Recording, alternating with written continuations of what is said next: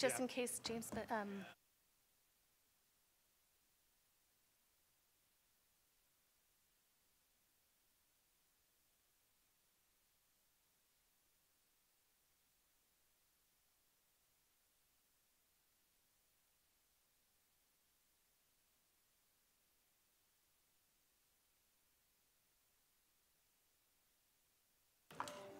Just giving a three-minute notice, it's 1:27, and I'll call us to order at 1:30 sharp.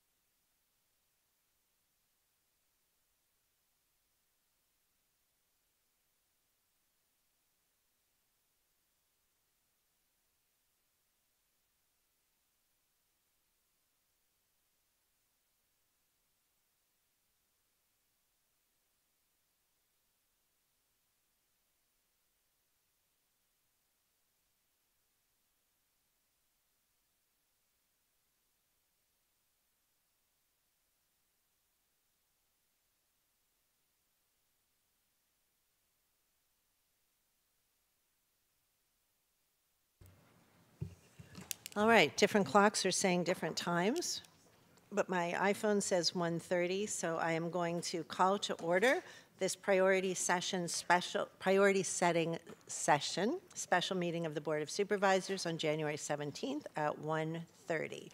Uh, Let's start with a roll call, please. Perfect. Supervisor Arenas is absent. Supervisor Chavez. Here. Supervisor Simitian is absent. And Vice President Lee, Present? President Ellenberg. I'm here, and Supervisor Simitian just texted me that he is emerging at the moment, at this very moment. And noting that Supervisor Simitian is walking to the podium. All right, Supervisor Chavez, would you lead us in the Pledge of Allegiance, please? Absolutely, thank you. Please stand if you're able. I pledge allegiance to the flag of the United States of America and to the republic for which it stands, one nation, under God, indivisible, with liberty and justice for all. Thank you so much. Item three is public comment, and I want to uh, make a note to any members of the public who have joined us today that we'll be taking public comment on all items on the agenda in addition to general public comment during item three. So if you are planning to speak on public comment, items not on today's agenda, now is the time, as well as for items, any of the items uh, four through, I believe it's 10 on the agenda. Do we have any speakers? We currently have two virtual speakers. We also have some speaker cards that are being brought forward. Okay, let's get a sense of the number so that we can um, allot the time appropriately. And currently, we do have three virtual speakers. Okay?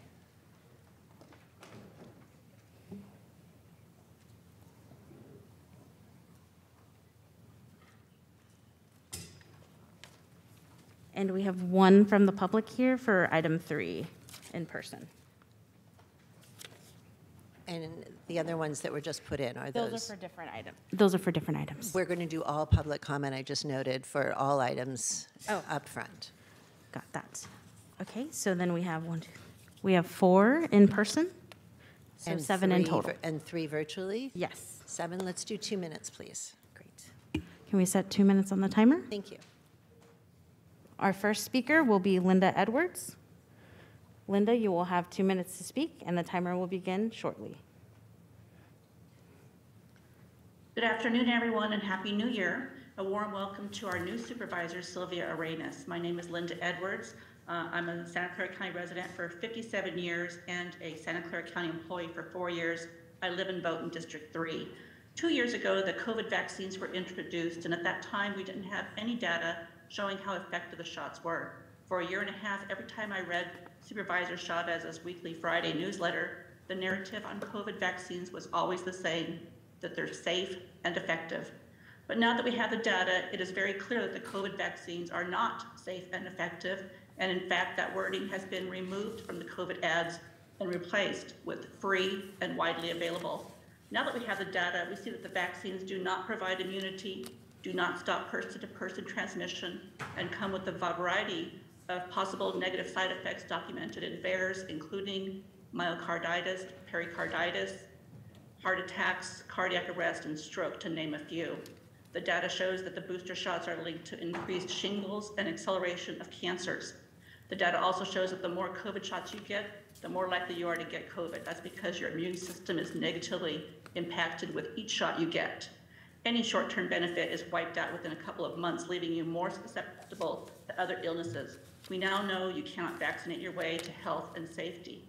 COVID is an endemic seasonal respiratory virus, and we'll all get it eventually, more than once, just like the common cold and seasonal flu. We, we can't stop it and we can't hide from it. We have to live with it.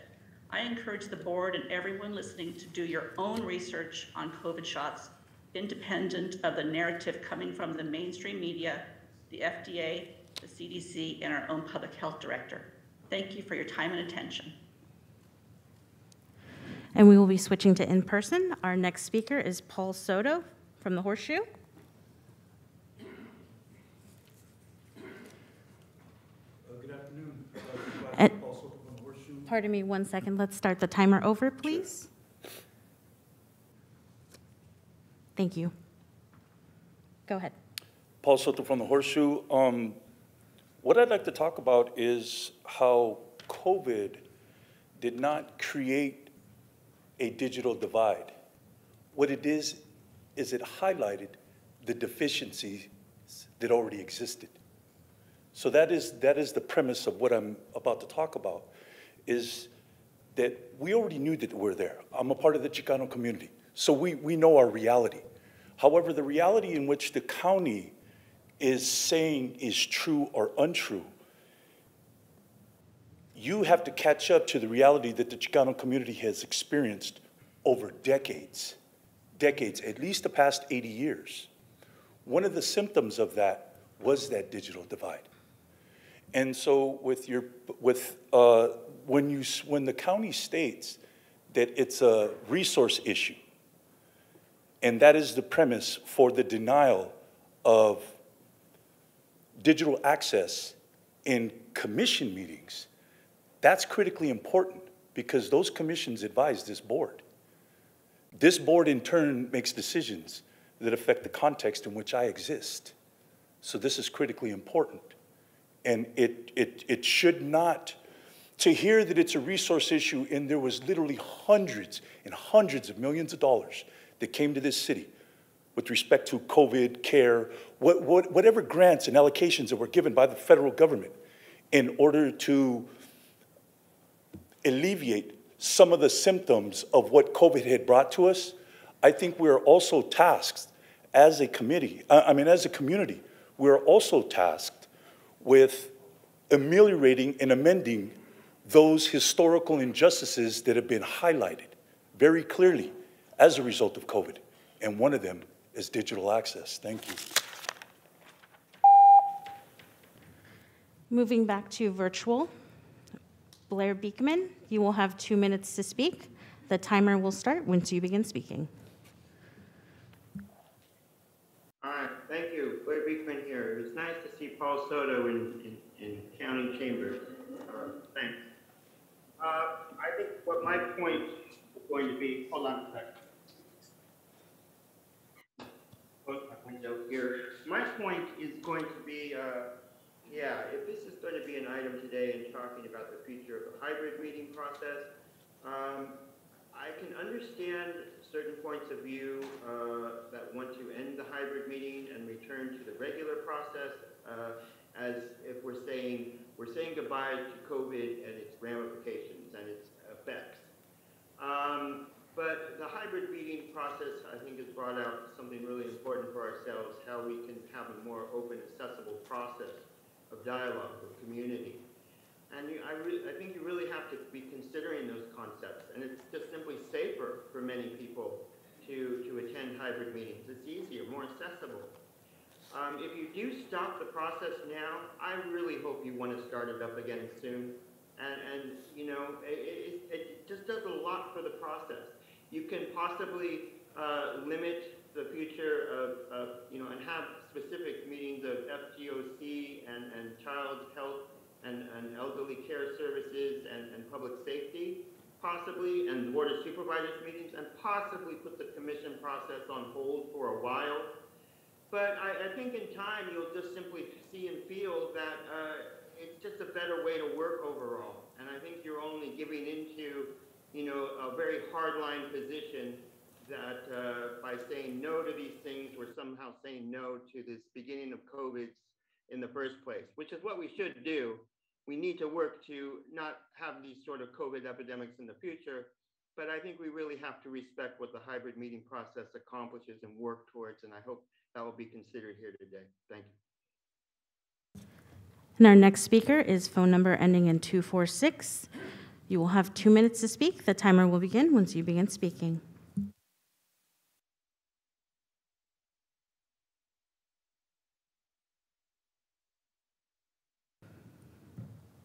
Um, good afternoon. This is Catherine Hedges. I'm a resident and registered voter in District 2 and a person with disabilities. I'm calling about the uh, end of hybrid meetings because that is taking away the voice of people with disabilities who cannot attend meetings in person. Besides issues with people who are immunocompromised not being able to expose themselves to COVID and other respiratory viruses.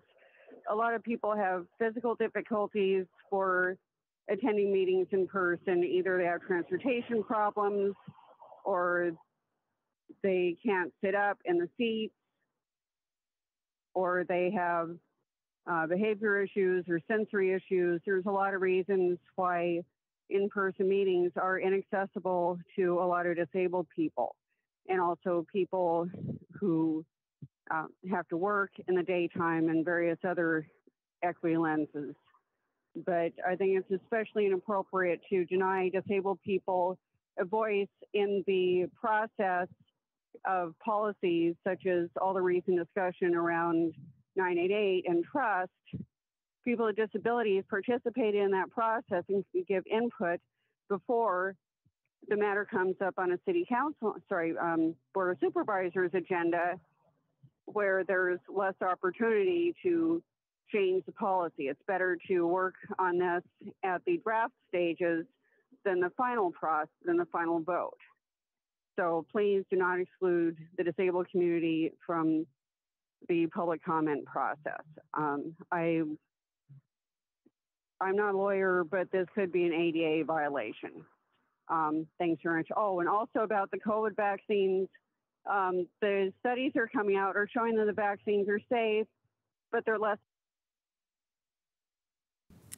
And it looks like we have one more hand raised. Um, looks like caller Galaxy A13. You will have two minutes to speak. The timer will begin once you begin speaking.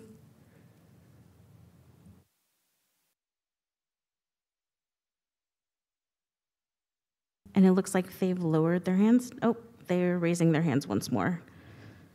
If you want to go ahead and unmute yourself, you should have the ability to speak. You will have two minutes to speak. Thank you.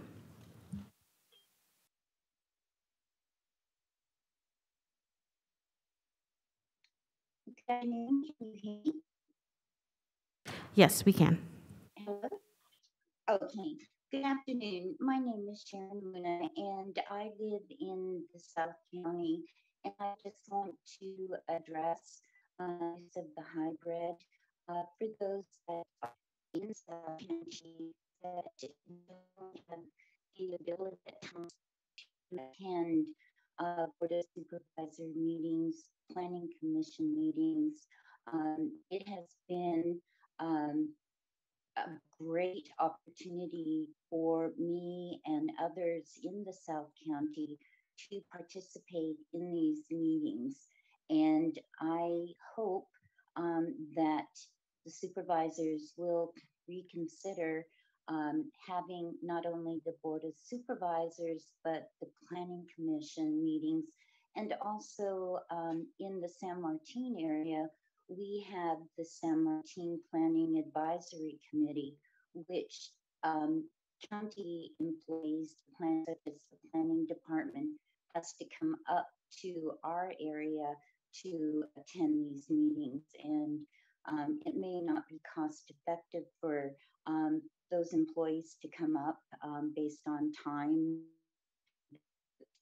uh, to South County. So it's important to look at what meetings uh, would be a benefit um, to stay hybrid for cost efficiency. And also, uh, we live in a high tech area. And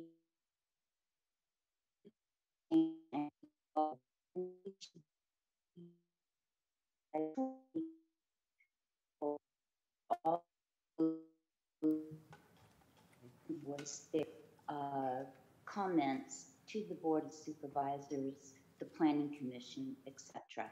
Thank you very much. And that concludes public comment. Thank you very much. Um, if uh, my colleagues don't object, I'm going to ask that we hear items five and six together, seven and eight together, and wrap up with nine and 10. So, taking us to item four, um, I'm glad to be able to set the stage for us today. So, good afternoon to all of you. Uh, to the clerk of the board's office, thank you for your work administering yet another meeting. To uh, my colleagues, thank you for joining me in what I hope will be a productive and enlightening afternoon. We are all here because the, because the passion for public service drives us. The five of us promise to improve the lives of the nearly 2 million Santa Clara County residents we serve. Each of us has priorities that drove us to our current role and which we are determined to accomplish. During my first term in office, I observed and participated in the culture of driving change on the issues that matter most to residents. I want us to turn today to the big collective picture of how our county, as an organization with its 23,000 plus employees, can fulfill the tasks required by state and federal law and set by policy direction. I suspect that most of our employees, like us, chose this work to better the lives of their neighbors, their families, their friends, and their communities. And most of them work extraordinarily hard to follow the direction of this board. Today, I'm hoping to accomplish three things. First, to level set our understanding of the county's mission, values, and operational priorities. Our range of experience as supervisors is vast. Our most senior member is serving his 22nd year on this board, not consecutively. Nope. Only 14, Madam Chair. You had a previous term? Four years then, 10 years now.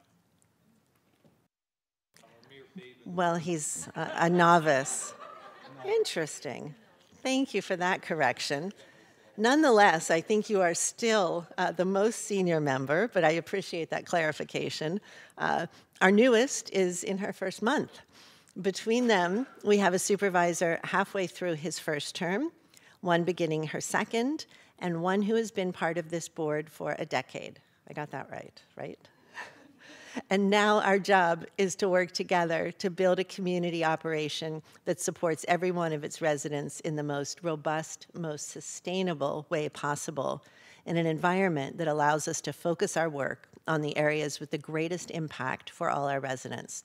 So I'm hoping the first thing we'll decide together in items five and six is decide is to decide together on a near-term set of priorities. Second, with regard to items seven and eight, we will look at the tremendous number of uh, board, of, tremendous amount of board-directed work that is currently outstanding. We are going to have to reach some agreement on a system of prioritization and how we hold each other accountable as we undoubtedly continue to bring forth worthwhile and important direction. Third, on items uh, 9 and 10, we'll develop a shared understanding of how an equity lens is applied to every challenge we undertake. We'll hear how our county departments are using this critical lens, and I would include racial impacts as well as economic as significant aspects of the equity tool. to make decisions regarding the allocation of always limited, never quite sufficient public dollars. And finally, I want to make clear that we are not beginning a true strategic planning process today. That is a significant undertaking that coalesces over time with deep community and broad organizational input. What we're doing today is having a conversation and setting near term priorities and direction so that each of us, as well as county administration and all our employees, understand where and how our precious and limited resources of time, energy, and funds should be directed. So let's get this going uh, with a presentation first um, relating to a review of the county mission and core values and current policy priorities and operational priorities. Thank you, Madam President. Um, Can the clerk put on, there we go.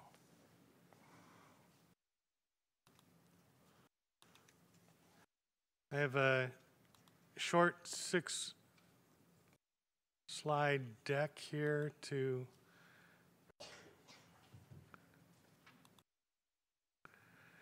show you, um, which goes over the staff's understanding of strategic priorities for the board, both then and now. Um, the mission and the core values of the county are listed here. They were adopted in December of 2009 by the board at that time. Um, I won't read through them, but the focus is on creating a dynamic community with quality services and promoting health, safety, and prosperity for all. Uh, the values are listed. Um, I think you can read them for yourselves. In terms of how the staff works on a day-to-day basis to try to implement this, this mission with these values in mind, um, the staff has created seven elements, which we call vision elements, which roughly are um, separated into three areas. One is to focus on customer service as our highest priority. One is to focus on employee wellness and participation. And one is to focus on efficiency and effectiveness. With those in mind, let me switch over to um, County Counsel James Williams, and he'll go through um, the next slide, which is a synopsis of the current board's policy priorities. So on, on this slide, uh, we endeavor to try to encapsulate our best current understanding of the broad categories of policy priorities that have been articulated by the board, either in discussions and conversations at meetings over the last few years or uh, through the various referrals that individual board members have brought forward over the last few years. These are obviously broad uh, categories and encompass a wide range of things in their breath. Uh, and later in the conversation, we're hoping that we may uh, get some uh, clarity from the board on any near-term focus areas within these broader categories uh, that the board may wish to identify uh, collectively as some, some areas to focus on over the next couple years.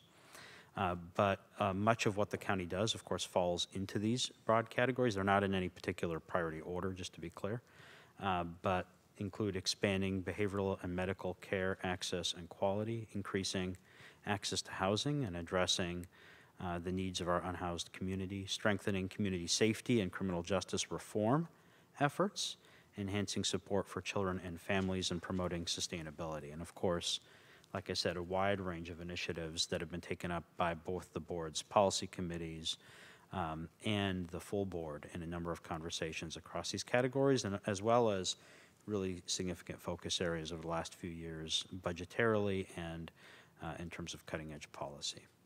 I'm going to turn it over now to Chief Operating Officer Greta Hansen for the next slide.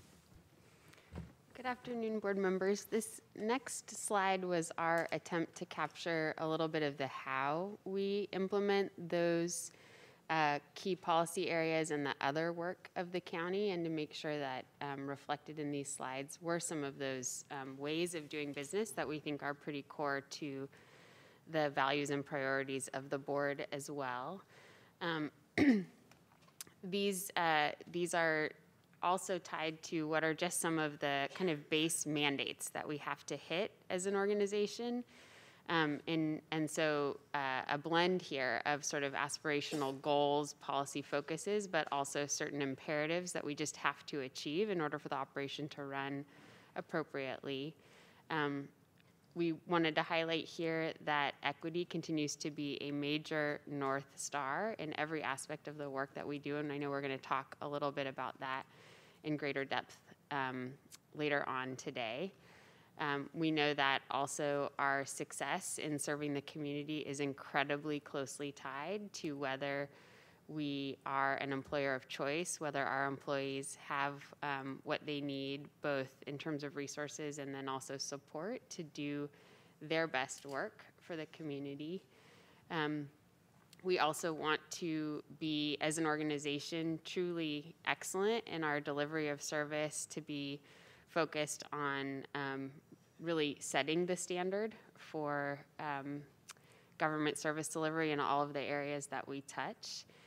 And then we want to ensure that in all the ways that we deliver services to our community, that we're creating safe and supportive environments for those clients to receive the services that we're here to deliver.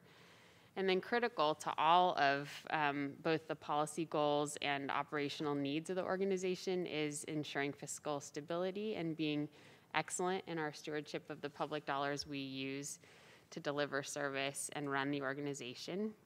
Um, of course, critical to that is also legal and regulatory compliance, and there are a lot of um, needs operationally that are really driven by requirements that we're subject to, and those obviously have to be adhered to as we move forward. And then truly critical to our success and efficacy is our ability to partner with community members, uh, community-based organizations, and other levels of government to really ensure that we're delivering the right services in the right way and in a really strategically aligned way with other really critical actors in our community who are also trying to create the, um, the future of this community to look the way we want it to look. So with that, I'll turn it back over to Dr. Smith. So uh, we expect today to be mostly a discussion about board priorities, but as you know, we do have the operational priorities that Greta just went through. And we also have departmental priorities, which means that certain, each department has their own regulatory requirements and their own uh, operational needs and staffing needs and funding needs. So when we're uh, making up the recommended budget, we start by asking the departments to give us a list of additional resources they may need or cuts that they think would be appropriate depending on what the financial situation is at the time um, in a way that's consistent with board priorities and consistent with operational needs and consistent with all of the um, priorities that have just been mentioned. Um, the departments present those to budget and finance, and we analyze them to make sure they're consistent with each other and consistent with board priorities. And we make um, decisions about what we're going to include in the um, recommended budget by looking at all those priorities and balancing the risks and benefits associated with any proposal. Um, during the budget proposal um, process, um, number of things are put in, a number of issues are put in front of the board for both direction and for action. As the board knows, uh, they discuss the policy issues in policy committees, uh, which give us further ideas of what direction the board would like to take with individual year budget.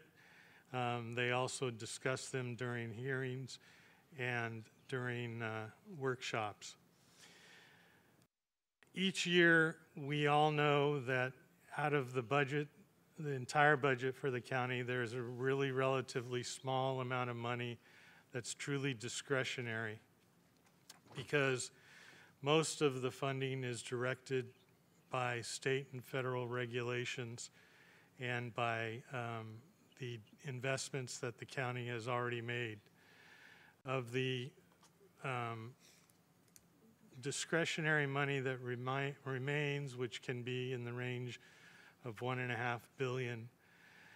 Most of it is not truly discretionary because it's discretionary only in the sense that in order to to spend it, we would have to, on a different project, we'd have to eliminate some projects. So a fair amount of that money goes to the health and hospital system, large amount goes to behavioral health, uh, fair amount goes to social services, a lot goes to the criminal justice system. All of that is considered discretionary, but is not really discretionary. So ultimately, the budget that the staff proposes to the board is a series of compromises consistent with the board priorities as we see them. And obviously, the board has the authority to either approve that or change it or modify it in any way they want. So that's the process we use, and so we're looking forward to uh, further uh, communication from the board today about their priorities and processes. Thank you, uh, Dr. Smith and Greta and James for, for the presentations. Um, before we, we dive into the item six uh, discussion relating to our near-term focus areas, I want to see first if my colleagues have any specific questions or clarifications about any of the slides. Seeing one. Go ahead, Supervisor Arenas. Thank you. so my question is, in order for us to have the the following conversation and, and maybe the you know the priority, uh, what is it? Item seven, the board referrals, um, which was expansive, and I, I gotta tip my hat to my colleagues because there's been a lot of work, especially in the last two years. Was it intentional to only reflect the last two years or the last three years of referrals, or how, how is that? How was that decision made? I think it's all open referrals. Yeah, Is the that the correct? referral matrix under item seven includes all current pending referrals regardless of date. Re- Regardless of date? Okay. Yeah, I, I the ones that are noticed- still pending, yeah. And it doesn't, doesn't include those that have been resolved. If we include those of- that have been resolved, the number is quite a bit more. Um, Mhm. Those are referrals that we've received and completed. Got it, okay. And then, um, would we be, uh, the way that the referrals were listed later, um, could, could those referrals fall under, um, our mission and core values or the operational, um, priorities? Um, as I saw, just a huge long list, and we try to organize it the way that uh, makes sense to us, which is what are our priorities in our in our uh, office, and then um, uh, and then who who provided that referral. Um, is there any way that we can, as we continue to have this conversation, because I, from what I understand, this is just the first step of a, of a long, a longer process. It hasn't been stated that way, but we're talking about near-term um, goals or priorities, but um, there's also a long-term process that we're going to, um, I'm hoping, draw out from what we learn today. So how can we organize this differently so it falls under um, our values, our, our core values, and then our operational priorities? So I'd, I'd like to answer that. Thank you for, for really excellent questions. Um, to, to the first piece, the, the order that I, um, in which I created the agenda with administration was so that we could really get some um, consensus around the priorities um, before we look at the referrals, because part of the, the look back will be what priority areas they, they fall into. So I think you're on the very much the right track, but, but kind of jumped over um, a, first conversation. Sure. And with regard to long term strategic planning, that is absolutely something that we need to do. But I'm, I'm thinking about the timing here because a, a true process, and, and I imagine you've been part of them, um, can be a year or more in, in the making.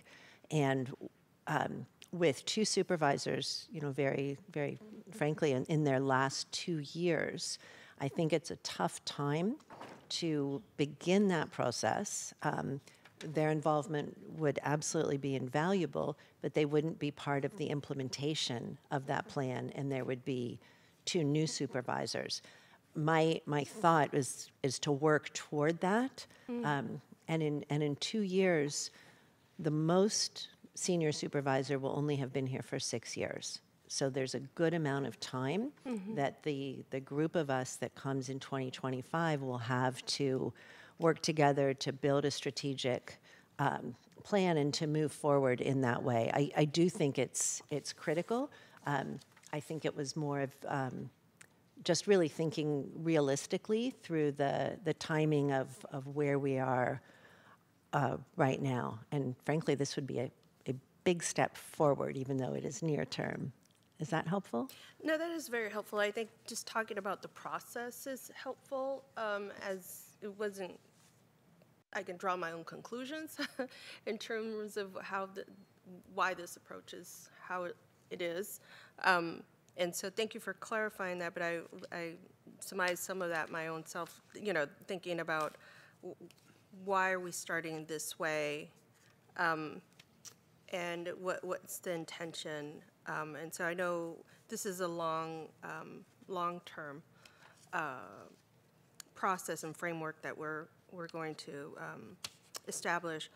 With that, I wonder why um, we don't call out equity um, under our mission and core values. I know that the these were adopted in 2009, um, and so uh, I I know that that some of these uh, are show in action equity, but we don't necessarily say equity. And so I wonder if that's maybe something that we could talk about as well.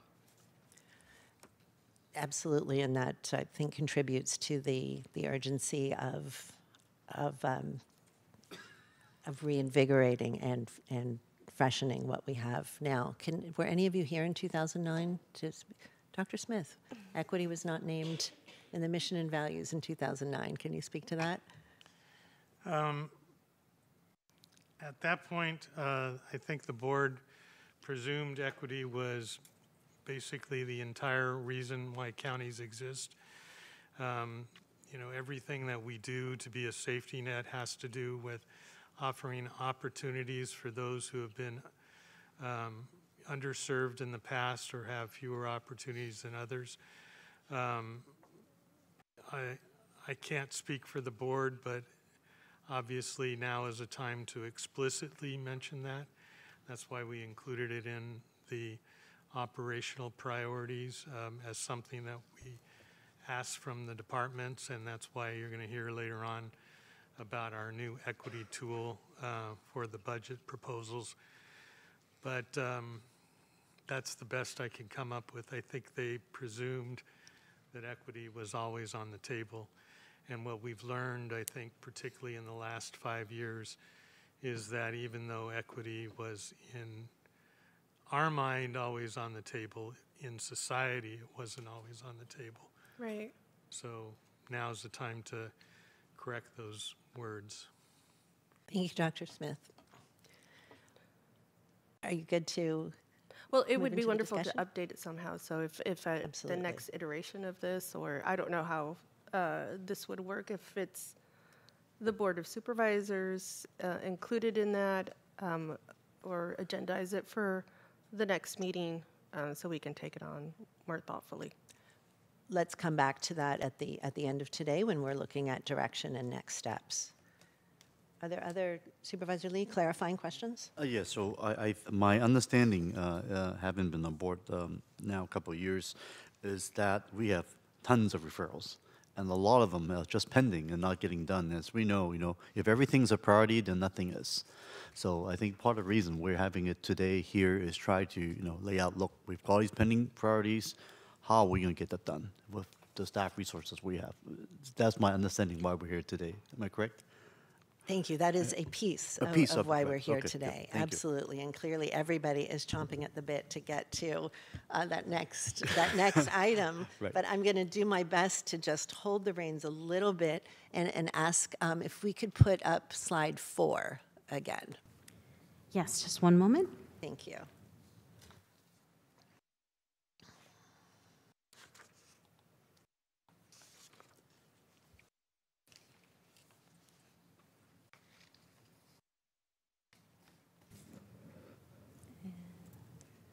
I'm so sorry. Supervisor Chavez, you have your, your light on. No, I, I was, um, I, I turned it on after you made that request. I'm happy to wait until you, if you want to. Well, it, no, if, if it's specific questions To um, this and section, clarifications, okay. absolutely, let's do that first. So, um, two, two questions. One is, um, from the staff's perspective, where does the, the internal business, uh, priorities go? And what I mean by that is, you know, having the technology we need to make the budget more transparent, being able to do dashboards, all, where does that go on, on, on either slide four or five? What we envisioned was the operational priorities, which we listed are the major priorities that we consider when we're talking about keeping the lights on and actually following through on the work that we're doing. Um, Next one, that, next one. Do you want me to put up, would you want? So meaning that for, Next, next slide. So these are the operational priorities Uh-huh. that we ask from staff to be ever concerned about. In terms of the departmental priorities about, you know, how much it takes in terms of, you know, keeping, actually keeping the lights on electricity, or following through with current projects, or how much um, support is required from TSS, or all of those other things. We didn't include all of that because literally that would be thousands of issues. So we focused on looking at the overall picture, which we asked all the departments to look to when they're making budget recommendations. So, uh, colleagues, one thing I would um, say is that I think at a number of meetings throughout the throughout the time I've been here, when we've had challenges with asking questions like, you know, if we're adding this many staff, what's the impact going to be to the overall outcomes of the services that are being provided? Some of the reason that we've not been able to achieve some of our goals have been some very basic business operations. And I, I raise that because I think it's the least interesting part of what we do, but it is very, very important to, um, I think, for the boards being able to make decisions. And I'll just use one small example. We now have um, a, a cash um, report that, that every month tells us, or every other month tells us what our cash on hand is. And the reason for that is that during the downturn, we had a time where we didn't have cash on hand, and the board was a little caught unaware, and I, I probably think the staff was too, in part because the, the systems that we have are so archaic.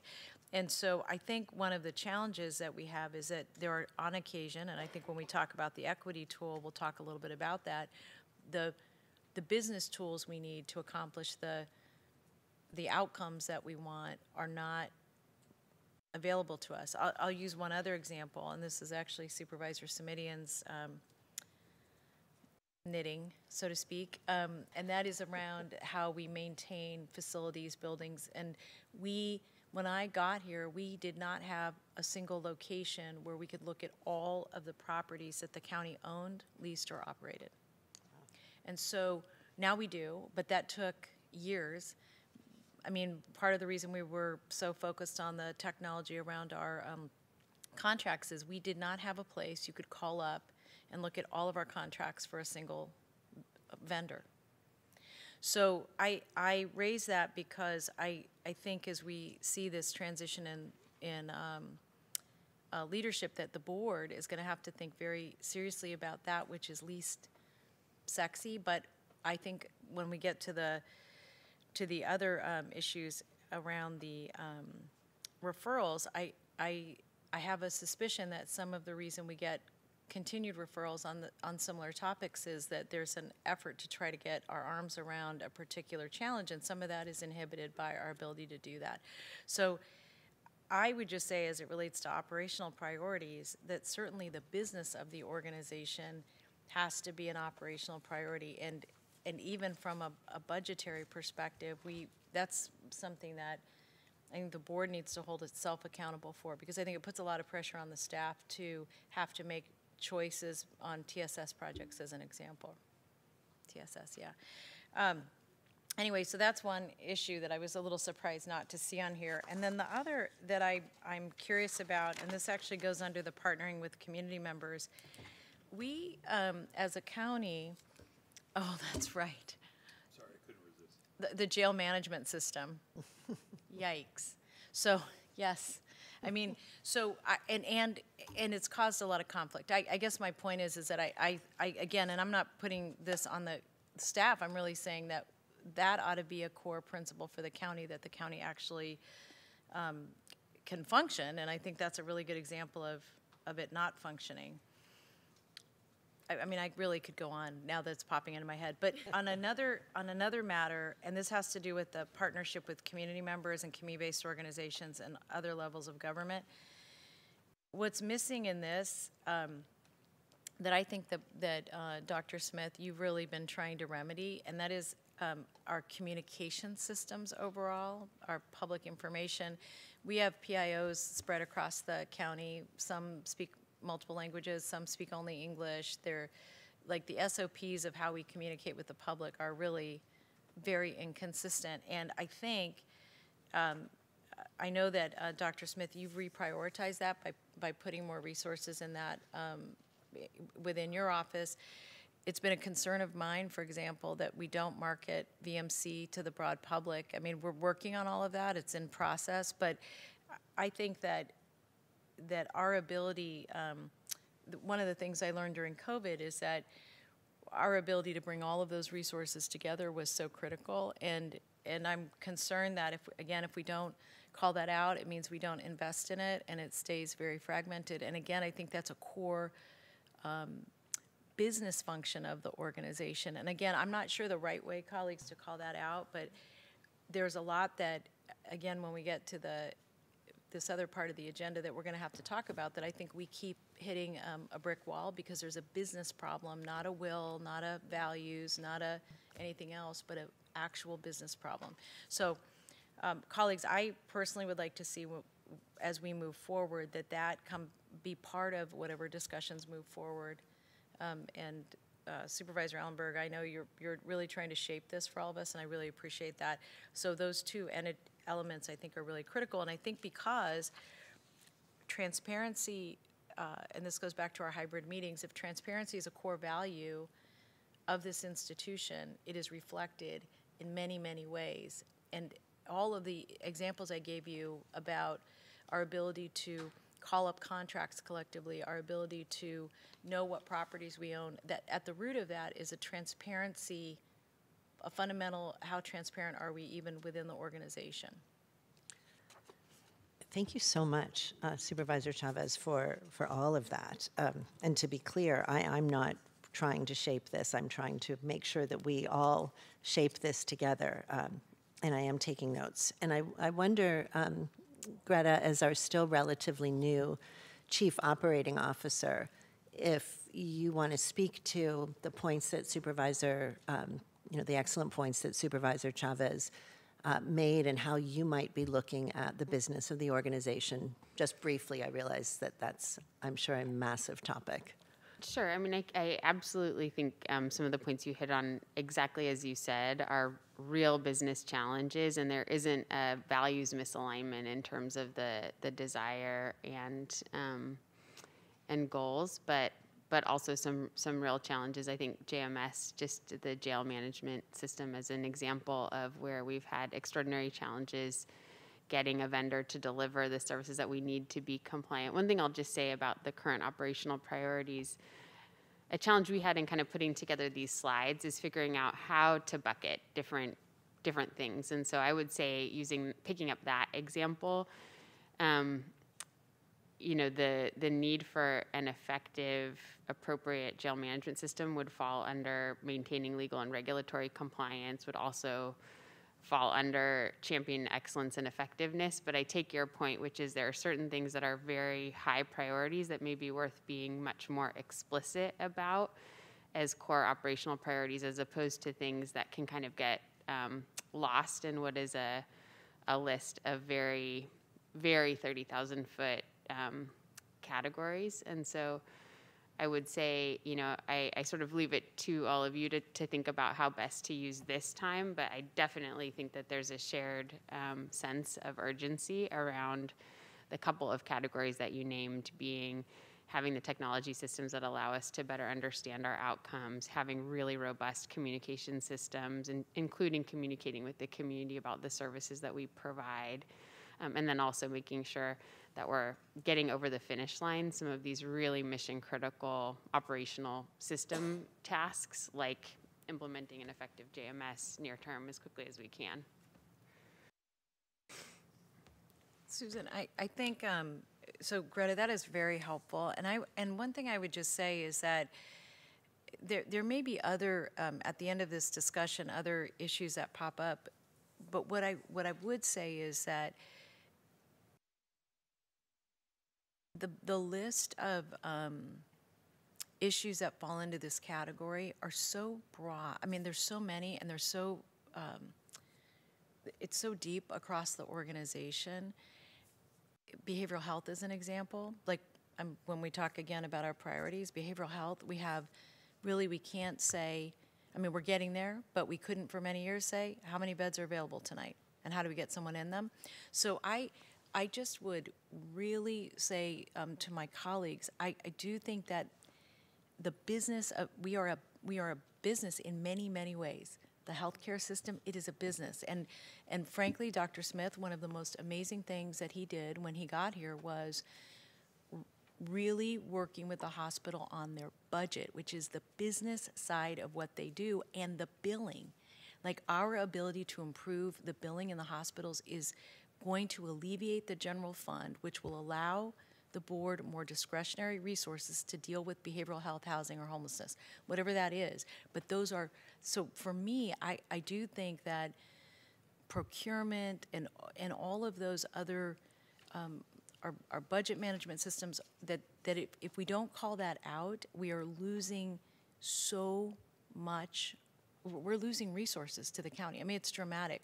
So I appreciate the point that you raised, Greta, about how um, how you see that integrated in. My fear is that when it gets dealt with is only when there is significant need or conflict or trauma to the institution. And that I think is an, is not a good way to keep doing business. And as a matter of fact, a number of the issues we had conflict here over them uh, because they're not they're not raised. And I don't know if that, I don't know what that means for you all as you think about the future, but it's too big an institution anymore to have it be, have those actions be embedded, I think. And so, you know, you, you will give us your wisdom in terms of how to address that, but I, I think that is going to be a significant challenge. And even as it relates to how the budget is prepared, a number of the issues that I've recommended over the years we can't do because we don't have the the infrastructure to do it. So I again, I you know anyway, it's just something I've thought a lot about. I don't have a solution, but really want to see it highlighted in the way you're all approaching our work. Can I comment on that? Please. Um, Supervisor, you're right, and it's always a balancing act because literally there are thousands and thousands of issues that you're referring to. Um, and in a county which was much more conservative, say like um, San Diego or Kern County, they would spend a huge amount of their money on maintenance, facilities, um, IT projects, many of the things that you're talking about which make business easier. I mean, for example, the story I always tell is when I came here 13 years ago in the heart of the Silicon Valley, there were 22 different email systems that existed in the county, none of which communicated with each other. When I asked the ISD director, which is what we called it at that point, to give me the group email to send an email to everybody, they said it didn't exist. And there were names on the on the uh, central database for each of those 22 uh, emails that were of people who had long since departed the county and sometimes departed the earth. Um, so we're always in a balance trying to do enough to keep us going structurally and operationally. And also, that need means that we have some left to address the board's priorities. Um, in those other counties like San Diego, Kern, they really don't do all of the progressive things that this board wants. So, you know, it is a challenge, like you saw before when we looked at the capital improvement program, which was just some of our physical structure improvement needs. It adds up to well over two and a half billion dollars. If you include all of the maintenance, it would be twice that. That doesn't include the IT needs and all of the personnel needs. So you're absolutely correct, and that's why it's always a balance, and that's why we're always asking the board to give us direction about which way you want to go. And I, you know, Jeff, I, I think that's a really good point. And one of the things that I think most people don't know about Santa Clara County is that for generations we have spent more on behavioral health. Like we've used more of our discretionary funds to build out our behavioral health programming than I, I don't know of another county eh, that has done that to this degree. And so I think Percentage wise, we're highest. yeah, and, and so I think that that's a really excellent example. And I think the, the board made some really thoughtful choices even before, you know, I got here. And I think, Joe, that was actually part of the, the um, first time that, that you served on the board, that you all made those good decisions. I think, though, that an example of what, where I think that if we could align our outcomes a little more to the, again, to the business of the organization, when the hospital was expanding into Epic and us not adding it to the jail system at that time had an extra cost for us when we did do it. And there were some reasons I know that that decision was made at the time, but I think what Susan, what you're trying to get us to in terms of this long-term planning actually creates opportunities for us to be um, to, to be fiscally strategic into the future in a way that we that we haven't been. And Epic is a really good example. We needed Epic in the jails. I mean, as all of the work that we're talking about right now, we wanted that. That that I was surprised actually. It was a tour I took when I first got here, and I was asking how were we communicating with anyway, and we weren't. So. Um, so yes, I think those are all really important issues that the board will have to wrestle with. So thank you. Thank you so much. The observation that I'm pulling from this really insightful exchange is how intertwined uh, operational priorities and policy uh, priorities are. I think um, you know they're they're set up on on separate slides, and I understand why. But I, I think that you have crystallized really quite brilliantly how interrelated um, they are and how much efficiency in the operational dollars with the operational dollars and systems allows us to move so much farther forward in our in our service uh, and programs to community. So thank you for that. Um, what I'd like to do, Melissa, could you, Cynthia, sorry, can you go back to slide four? Just Yes, actually, back. that's Dr. Smith's presentation, Oh, so. Dr. Smith, can you hop back one slide? Can someone magically make slide four appear? Thank you. Fantastic. um, so I think with that, and I, um, I, I would like your reflections on, this is administration's interpretation based on our referrals, based on our, our conversations in committees at the board level and one-on, one-on-ones, that these are the board priorities. Are they, so two questions. First, is this an accurate list? Are there things that are missing or things that don't need to be on here?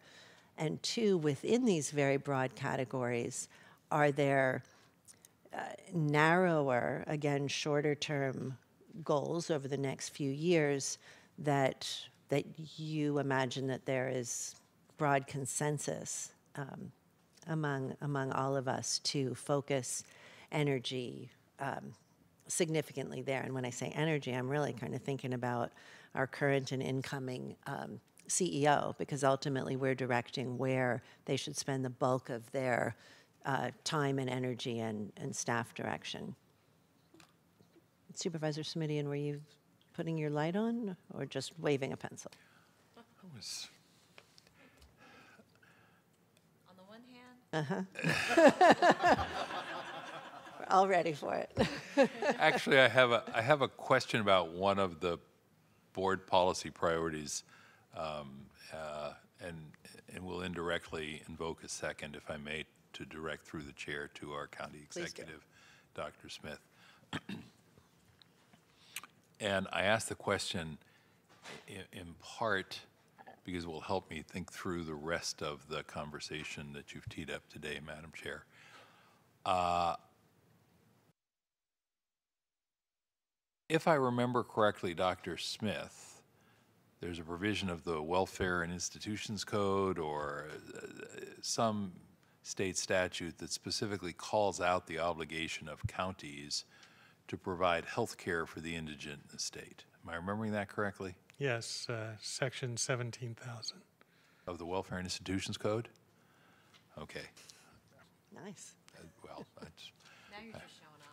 No, I, I was going to say, I, I didn't, I, if I'd known the code section, I might have been feeling proud, but uh, on this, I, I, as I say, it was big. But I'm not remembering, I had this conversation, Madam Chair and colleagues, recently with some, some folks in the world of city government who suggested that, well, addressing homelessness is the county's responsibility. And I said, well, you know, actually, i- i- part of the challenge in addressing homelessness, as I understand it, is that it's not really anybody's responsibility under state law in the clear and well-defined way that um, healthcare for the indigent is. And my, and Dr. Smith, please feel free to correct, clarify, whatever, but I mean, now I'll do the, on the one hand. So, on, I mean, eh, on the one hand, we have a housing authority. They're supposed to, you know, be in the business of affordable housing in a way that is very clear and direct and established by law. On the other hand, we have cities who are responsible for land use approvals and entitlements, including residential and commercial development, which commercial development creates jobs, which creates demand for housing. So we're right back in the whose responsibility it is. And then as I think through, and this is my, and I want to be really respectful about this, this is just my interpretation of the conversations we had as a board. What I, what I intuited, heard, thought I heard, uh, and what I felt myself, which was, you know, if, if the folks who are unsheltered, who are homeless, are more often than not going to be our county clients in any one of a number of different venues, then doesn't it behoove us to step up on the housing front, even if we think that that's not, quote, technically our responsibility? Dr. Smith, uh, you know, any insights you might have on this, because it, it does sort of uh, play into how we how we make these judgments, Madam Chair, about what our priorities are, should be, have to be under state law. I mean, you know, under Welfare and Institutions Code section, uh, it's, uh, it's our legal responsibility, as I understand it. Uh, the housing uh, work we do, we came to in a very big way, but for a somewhat different, by a somewhat different path, I guess. Dr. Smith, if I may, through the chair. Um, start with the Welfare and Institutions Code. It's true that counties have the responsibility to provide medical care or services for the indigent, but it's a very old code and indigent was never really defined. So each county takes its own shot at deciding what that means. So for example, San Diego County, very rich county, doesn't have a county health system. It contracts with um, hospitals to provide care for the medically indigent at very low rates. Um, we in this county, you know, were very forward thinking and decided a long time ago to keep the county delivery system and to expand it. Um, by definition, we do more than we're required by state law. However, the board over many years has felt that that was an imperative, and I must say I totally agree. Uh, with regard to housing, um, there has been an evolution of the responsibility, um, and I think it's fair to say that you currently see lots of levels of government and private sector working at it from different perspectives. Um, the federal approach to homelessness used to be um, through housing authorities and public housing. Um, cities were supposed to be building affordable housing for a long time, but most cities had to be forced to do that. Some of them then created uh, what we now call ghetto areas where they would, through various um, legal requirements, focus cer certain populations that had to live in certain areas because they couldn't get a loan in other areas or they had social restrictions or legal restrictions that prevented them from moving to other areas. And then counties were never really technically obliged to, to deal with homelessness. However, as we all know, virtually all of the chronically homeless have chronic mental illness or other social issues that are our responsibility, A-R-E-O-U-R. Um, so at this point, I think it's a multifactorial problem, and the latest initiative at the state level, which will make homelessness even more of a uh, county responsibility, is that CalAIM is changing all of Medi-Cal so that Medi-Cal recipients will now have um, have to have some access to housing and other services that will hopefully prevent homelessness. So um, I think the state's goal is to make counties responsible. Through the chair, if I may, with a follow-up, that takes, in, as I'm turning all this around in my head, it takes me then to the to the issue of social services broadly defined because what I hear from many of the smaller cities in particular is when someone says, well, couldn't you provide this set of services or that set of services in the social services arena, they say, well, that's clearly not a city responsibility, it's a county responsibility.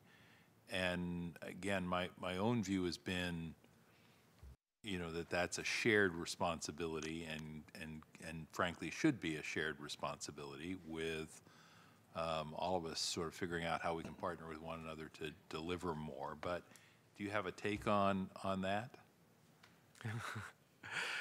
um, well, yes, I think that, um, you know, more and more we're realizing that there are other social determinants of health and wellness as well as society wellness and uh, access to services, how cities are laid out, what their land use decisions are, have a great impact on the social services needs and health needs.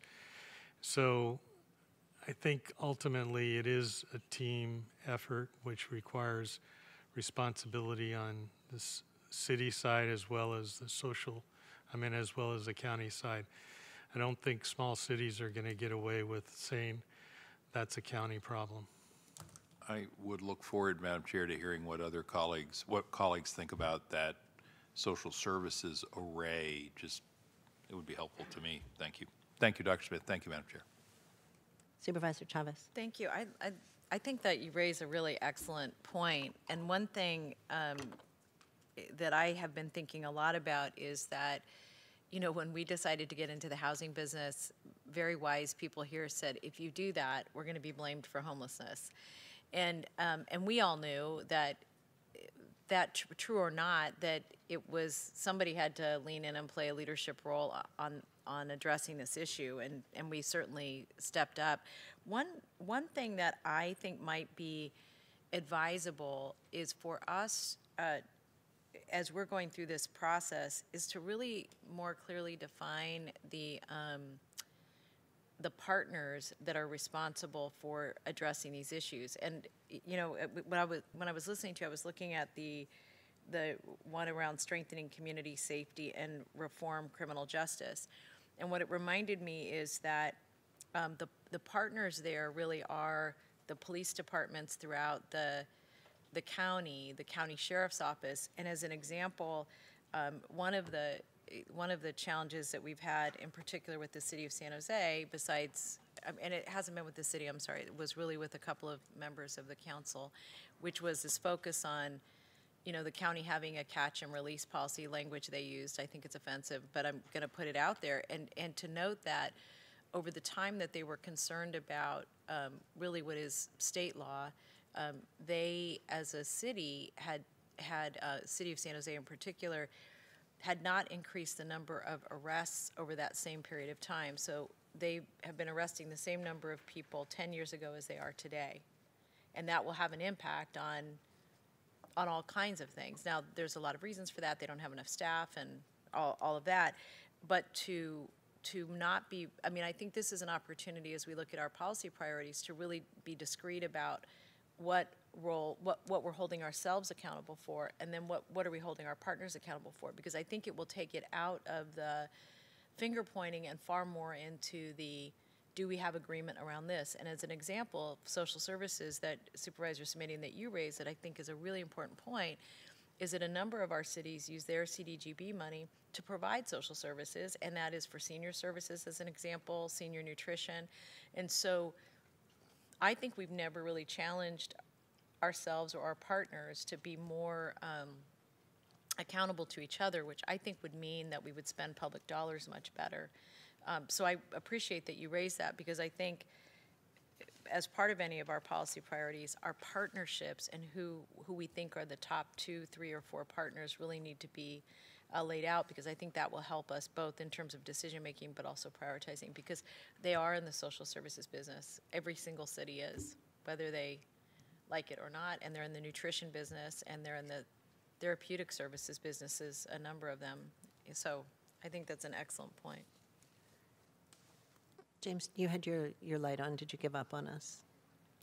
Oh, I I had a couple comments picking up on uh, Supervisor Simitian's questions to the county executive from earlier, but if Please. you want me to Go right. I can, I- I was just going to comment a little bit on kind of the concept of what's, you know, what's the county's legal responsibility and kind of how our counties um, conceived of by the state, right, under our structure here in California. And, you know, counties, in a lot of ways, right, we're subdivisions of the state. And so if you think about kind of how a lot of our work is structured and organized, so much of it is in the delivery of what in other states are actually state-delivered, state-run programs. That includes a lot of the social services system. Uh, but in California, because of how big California is, California has organized that kind of at the county level. And because of how the funding streams work and um, and, and because of that structure, there's so much more interrelationship and so much more regulation and direction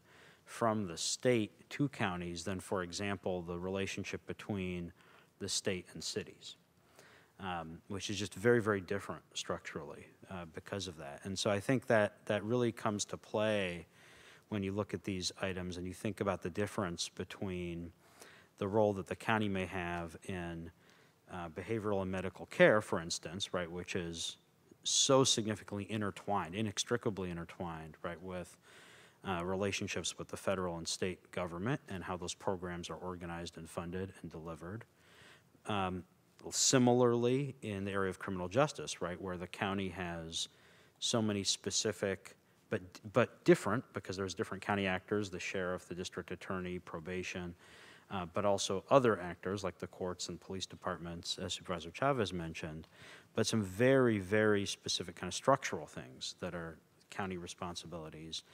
And those, I think, stand in contrast to the, to the more amorphous nature of county core responsibilities when you look at the other categories here related to the work that we do with respect to our unhoused community, although as the county executive mentioned, there's now increasing state level, you know, connection with what's happening with, um, with the reforms related to CalAIM, but also in terms of support for children and family sustainability, those kind of categories where it's really a question of, um, you know, how does it impact the clients that the county otherwise serves? Or um, what kind of additional work are we doing in partnership with other local governments as a responsible steward and as an entity that really has an overall responsibility to take care of the residents uh, in our community. So I just, in my mind, there's just those layers, and that I think comes out a little bit in the um, some of the operational priorities around, you know, we have legal compliance, regulatory compliance, but we have all these state mandates, right, in those areas that don't quite exist in the same way, or at least are far less significant in some of the other areas. Uh, and that does drive a lot of, not just the budgeting, but a, a lot of how the programs themselves are delivered. Thank you. Um, what I've, oh, just make a, go ahead, go ahead, Sylvia. No, I apologize. Go ahead. I'm just um, really trying to, to process and, and, and synthesize um, what everyone is, is saying. I think that, you know, defining partners uh, in the responsibility is a critical piece. I think a place where our county has done an extraordinary job um, is in the community plan to end homelessness. And no, we haven't ended homelessness uh, yet, but we have, as was noted earlier, invested significantly. Counties around the state are looking at our community plan uh, as a model. Uh, there is no statewide vision unfortunately, for ending homelessness. So there is endless finger pointing, particularly between cities and counties, but other other entities as well. That allegedly is in process. We certainly shouldn't sit around and wait for it. Um, but but I couldn't agree more that this collectivity is the way to to address our biggest challenges. I'm going to just in the interest of um, finishing up at the at the time we said we would and getting through a number of important issues. I want to bring us back to this list, and uh, maybe I'll give a couple of examples. Um, I, certainly, I, I, would agree that expanding be behavioral and mental mental health care access and quality is is a is a top priority in terms of short-term goals. Our behavioral health uh, folks have told us that they need 500 beds in at X different levels by a particular date. Um, that I would say is, is an example of an area, in my view, as one, one supervisor, that we should be absolutely prioritizing um, resources, attention, accountability, um, measuring progress uh, toward those goals, um, and having something specific to show in the near term again to say, we focused on this and look what has been accomplished, look what is now available to the community uh, that, that wasn't before. So that, that's an example of kind of what I'm, what I am thinking about and just come, to come back to the list. Um, and Supervisor Simitian, I really um, appreciate and I'm intrigued by the, the way that you approached it. Um, I wonder, just to get confirmation from everyone or not, is this the right list? Is there something missing? are any of these elements not, in, in your estimation, not reflective of a board priority such that we should say, we're going to hang back on this? And as I say that, I'm hearing Supervisor Chavez say, everything all at once. We're not hanging back ever on anything. We're all in each other's heads. And now, thank you for your intelligence, Supervisor Arenas. Thank you. Um, so I think I'm going to go back to my uh, first point, which is equity. And I know that these uh, priorities are going to accomplish equity for our, our vulnerable uh, communities in different places of our county.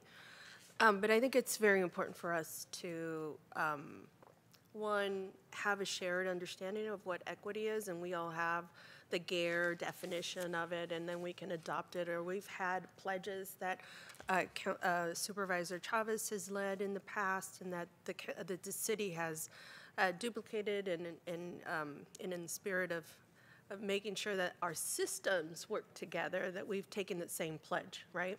and as as the discussion was evolving, I was thinking about the work that we're doing, that we were doing as chair of uh, neighborhood services and education uh, together, um, Supervisor Chavez, and what um, I know that we were hoping to create is this paradigm shift around who's responsible for our communities, and we are all responsible at all levels of government. Um, and I know from uh, the city side of it, uh, you know, we led, um, and this is one of the things that I'm really sad that I left behind, but our child and youth master plan has that goal in mind um, to have a system of care for our youth and for our children that is driven by um, the Bill of Rights and not necessarily what services we provide or we provided at the city, but what uh, do our children deserve and have a right uh, right to, and then making sure that we have a partnership that actually um, has that comprehensive system of care. And so making sure that we work across all levels of, of, of uh, government and um, nonprofits and whatnot. And so this is a really good conversation. Um, I'm glad we're having it, and I want to make sure that we uh, continue to have equity at the forefront, um, and that we think about how do we operationalize um, equity? How do we have a shared understanding so that when our systems of uh, uh, interact with one another, they're seamless, right? Because we're all speaking the same language, uh, relatively, right? Relatively the same language, um, hopefully based on what the GARE definition is and maybe uh, changing it just slightly. Um, so I think for me, what's missing here is um, how do we integrate um, an uh, equity lens and institutionalize that in our policies? Um, because I know that each uh, of these uh, different areas are going to accomplish some level of equity. Um, but how are we doing this based on race and equity? So, what I'm hearing is that we need to move through so that we can get to talking about the referral matrix and talking about the equity tool to answer all of that. I, I think, I think um, what I'm trying, but but it may be artificial, and I and I think that's um, that's creating a, a, little bit of good energy and tension. Is that I thought we could do this all linearly, but you're absolutely right that they're all connected and iterative. So what I'd like to propose. Um, and and a priority, and it should be stated as a priority. Absolutely. Right. Um, not just understood. I agree, 120%. Awesome. What I'm going to do in order to keep us moving and get to be able to talk about all of the things is, in the absence of anyone telling me otherwise, I'm going to conclude that this list of five does reflect this board's priorities. I haven't heard anybody say that there's something missing or something shouldn't be here. So Supervisor Chair, Chavez? that is exactly what I'm saying is missing, is the equity, the integration of equity Right, and the right, right. standardization. Uh, So I- I'm not sure that you capture that in the way that you were summarizing.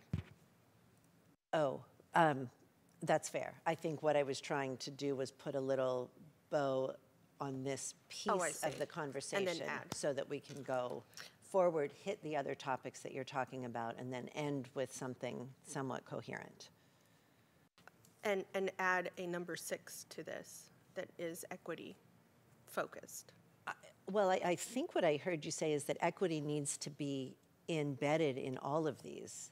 Well, I- there, I think in the same way that Supervisor Chavez was talking about how um, some of the priorities that you've all been talking about in the past uh, can't come, come can't come to fruition because there's a business aspect of it that just impedes that implementation.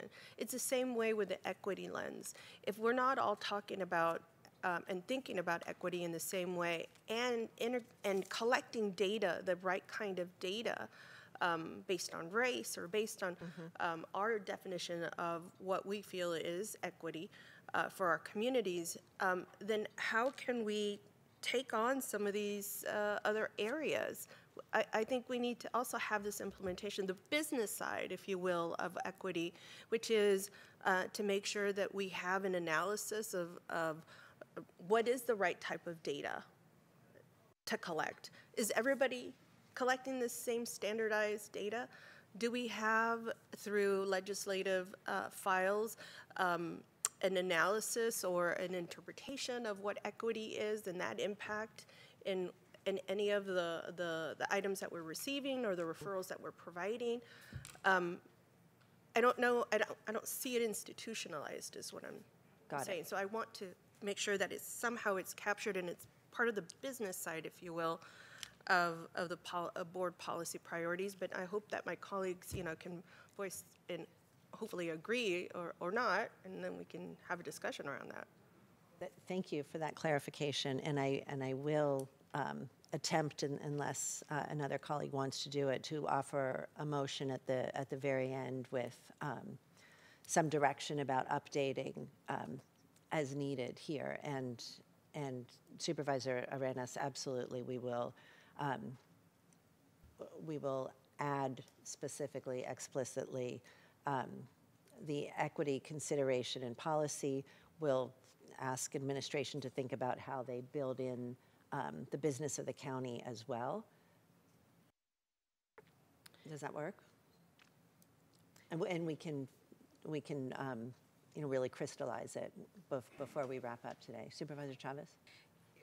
Yes, I, I, I think, um, I was just gonna, um, reiterate, I, I think what, um, Supervisor Arenas is asking for is, is the appropriate request, and it is appropriate that it be in a policy priority, because I, I do think that even with the work that you both did on mental health, you're, you were really focused on, um, on, on the equity component of that. I know that Senator Cortese and I worked on it, that before you all got here, and it really hasn't um, been embedded the way that I think we're all kind of asking, which, um, I'll- which I'll go back when we talk about the number of referrals. I think part of the reason there are so many of them is that we're not, when we don't see the response, we go back at it a different way, and, and then, you know, so I, I, we can talk more about that. I do want to say that I think, um, the, that backbone of how we operate uh, this business component, whether it's on our current operational priorities or on the board policy priorities. And I, I really want to get feedback from staff on that. I want to make sure is included. The other issue I, I just want to pull out is the issue around um, transparency, which I think about that relative to the improvements we want to continue to see with the registrar of voters and the outreach there, the hybrid meetings, you know, how, how we do our business matters a great deal. And the other, and I think that may actually go into our community partnership. And the reason I was raising the issues around communication and those is that it isn't to say that I don't think these are, are um, the board priorities, but I, I, those other three issues that I raised and the issue that Supervisor Arenas raises are really important to both sheet four and five and may, you know, may change for the board as we go through the discussion today. So I understand the point you raised about coming back, but I, I do want to just call those out. Equity communications business. Right, and, um, and this idea of really, the, embedding our partnerships in any of the work that we're doing. I, th- I think that is a, again, a fundamental change that we need to make. And, and by the way, as the, on the um, hate crimes task force, on the human trafficking task force, all of those, anytime there's a recommendation that comes to this board, there are recommendations that go out to everybody else who's supposed to be responsible for some piece of it. Excellent. Thank you. Um, With your, oh, Supervisor Lee? Then I'm going to move on to item seven, please. Sure, yeah, exactly. I, I think uh, I I echo the same uh, comments that's been uh, given my colleagues. Uh, I, I think the, the uh, bringing up the policy priorities with the equity uh, in mind of, of, of lifting it from the operational side to the higher top, I think that's, that's basically what, what we are uh, moving forward, which makes uh, a lot of sense. Um, going back to a separate issue that was mentioned earlier with the shared responsibility uh, of counties and cities. Um, no names mentioned, but I have worked uh, very hard on, on, on house issues with another city. And there was actually a comment coming from a very senior uh, individual of the city, basically says, well, you know, this unhoused business is really a county responsibility. And I think a lot of us at the call, at the Zoom call, was really like speechless uh, to have a city official uh, missing that point. Uh, and I think this engagement of the shared responsibility is so important for us to trying to tackle this. And we have 15 towns and cities in this county, not just San Jose. San Jose is doing a very good job, by the way. But in addition to that, there's so many other towns and cities that we as a county really need to engage and educate them to let them know that, hey, this is not just our issue. This is our shared issue. Then we got to work together to solve this. And, and, and with that in mind, going back to uh, President, your earlier point about measurement and accountability, right? Holding us accountable. Hey, we, we, we talked about increasing number of mental health beds by this date. We talked about increasing number of detox beds by this date. Uh, how about even discussing the number of interim housing units? Is that something that we should even consider uh, as a as a priority issue, or how about number of temporary beds that we need? So I just want to just raise those issues and something to talk about. We talk a lot about permanent supportive housing and, and, and units there, but I'm I'm bringing that up too as well. So we're going to talk about shared responsibility, a goal and meeting these things, you know, when we have so many people in the house, are these some priorities that we need to lay out so that staff could see what where the board is going, and then we're going toward this goal of accomplishing this in a measurable and accountable and transparent way. So I just want to raise that.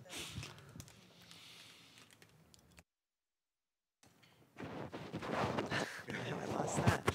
Um, Yeah, I, I, I think that is really insightful, Supervisor Lee, and maybe part of what, um, you know, we'll ask for as this is updated and, and enriched is kind of a categorization under each topic of what, what work is being done right now, what's expected to be accomplished over the next couple of years, what are the metrics, how do we measure it as it's going, not creating new additional work, just organizing and making very transparent for all of us. Dr. Smith has the last word, and then we're moving on to item seven.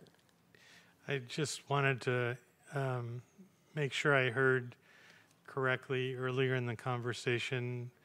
The board was talking about modifying the core values to include equity as a core value. Would that be something the board wanted us to come back with? Um, and that sort of sets the stage for all of the inclusion of equity in everything that we're doing? I think you did hear that, Okay, good. but Got we'll, we'll, we'll make it clear at the end. James, were you leaning in? For the next item. Excellent. All right. We are moving to, I, I'm, I'm so torn because I love the conversation. I have so much respect for all four of my, my colleagues. This is, um, you know, in some ways just an indulgence to get to have this kind of conversation. Uh, and yet I'm also tasked with keeping us on time, moving, moving ahead, and being productive. So with that, item seven is to receive a report regarding, regarding board referrals. James Williams, thank you. I'll be kicking off the presentation on this item. I'm just going to pull this up. Hopefully folks can can see this. Do I need to zoom in?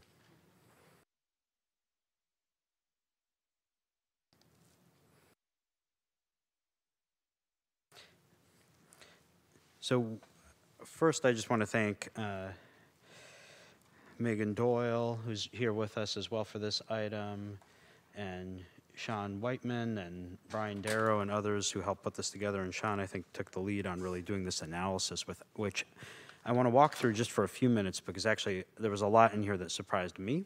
Um, and that I think uh, can help inform the next conversation around um, kind of prioritization and the, the referral process.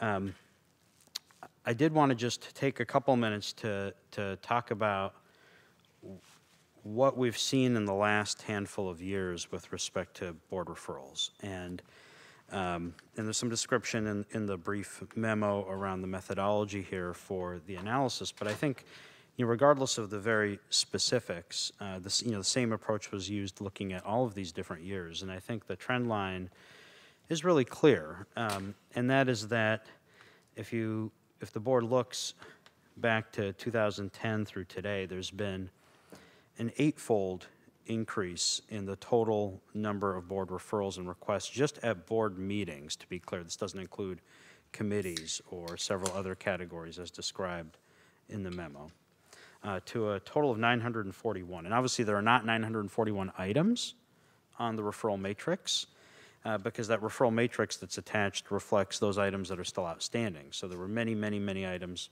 of course, responded to over the course uh, of the year and prior years. Looking at the, the next table, which is kind of the number of referrals and requests per board meeting, also similar increase from about a little over four to over 32 per meeting. Again, just looking at items from board meetings themselves. The, the most interesting thing to me was actually this third table, which is where the requests have been coming from. Uh, most of them, 735 last calendar year, were requests during items that were discussed, not agendized formal referrals that were put separately on the agenda, although those have increased as well. Those are the orange uh, category. Um, and then also items that have come up during the consent calendar. Um, 76% of the total are those blue category items that were verbal requests during discussed items. Um, and then, as you can see, a pretty significant number of verbal requests for items that are on the consent calendar that have not been pulled. The, I think the top line from, from our perspective, both county counsel and administration on this, is that this is obviously a very, very significant number of items, um, and that the items and kind of how they're organized right now really drives a lot of utilization of key leadership time in the organization. Um, there's a relationship between kind of the volume of items and and the level of depth and responsiveness I think to that the board has gotten in return on some of these. Um, and what we're respectfully hoping from the board is that there may be some conversation around kind of what the board feels like makes the most sense here in terms of how to best handle this, um, and if there are some strategies that might help uh, make the management of the referral process and the responsiveness uh, more satisfactory for everyone involved, because obviously there's lots of very, very important items being brought forward through these requests for information as well as policy initiatives that are being put forward we have put out there four ideas of some specific things that we think may help manage this process a little better for the board's consideration. Um, one is to actually remove items from consent if there are questions or requests related to the items. That was absolutely the practice historically uh, and then has really shifted in the last handful of years. Uh, but that gives an opportunity for uh, staff to get some clarification on what those requests are, to potentially, if it's a simpler question, actually have it handled uh, at that time instead of generating a separate report that needs to come back either off agenda or on agenda. Um, and provides kind of a, a process that we believe would allow that, at least that yellow category, to be dealt with more effectively. Our other specific concrete suggestions are to uh, ask significant questions in advance, which would allow us to alert the relevant staff to help be present to help answer at least some of those more informational questions that are being posed on some items uh, that may help reduce some of the need for follow-up off-agenda memos or follow-up items. Uh, for uh, administration to be given an opportunity to engage in conversation around the timeline for response on items. Uh, some of these items generate, um, because of the timeline that's been provided, an initial response, but then really there's a lot of subsequent work that needs to be done. Um, and so the items then stay active for a considerable amount of time. Um, but there hasn't been the opportunity to have a conversation around what timeline might make the most sense for the item at the outset.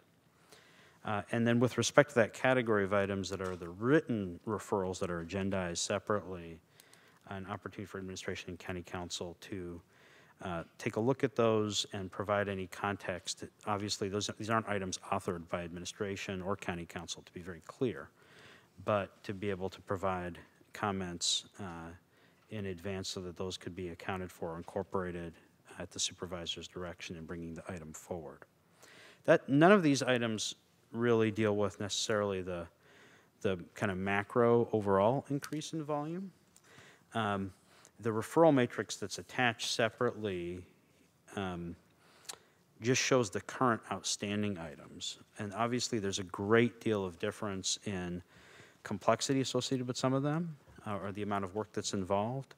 Not reflected on, on some of these are some of the things that some of the supervisors commented on in our prior discussions, such as some of the the need for administration, for instance, to be building out some of those business tools and infrastructure that's needed to provide data and other information. Um, you know, the way I kind of think about this, stepping several steps back, is that, you know, the most significant resource in some ways, um, at least for this conversation, um, is really a question of how does the board want the time of uh, the key leadership of the organization allocated. And that's absolutely something to be done at the board's direction and based on the board's policy priorities. I think right now with the volume, um, that's happening uh, in just kind of a piecemeal basis. Um, and so to the extent that there's an ability to organize or collect some of those items, to maybe align them with some of the identified policy priorities, and to maybe set um, some of them as more kind of the nearer term goals. Uh, that I think would all be helpful direction for all of us in making those allocations um, of time, as well as, of course, other decisions like budget. So I'll pause there. We've got folks available to help answer some questions. I, I don't think um, we have the matrix attached as well. I don't think our intent was to try to walk through each item on the matrix, No. just so folks know. Um, But, uh, but definitely available to answer questions, and then very eager to hear um, the discussion from the board. Thanks, James, and Megan and Sean and everyone that, that worked on this uh, report for us. Um, I really appreciate the, the analysis and the recommendations that were provided.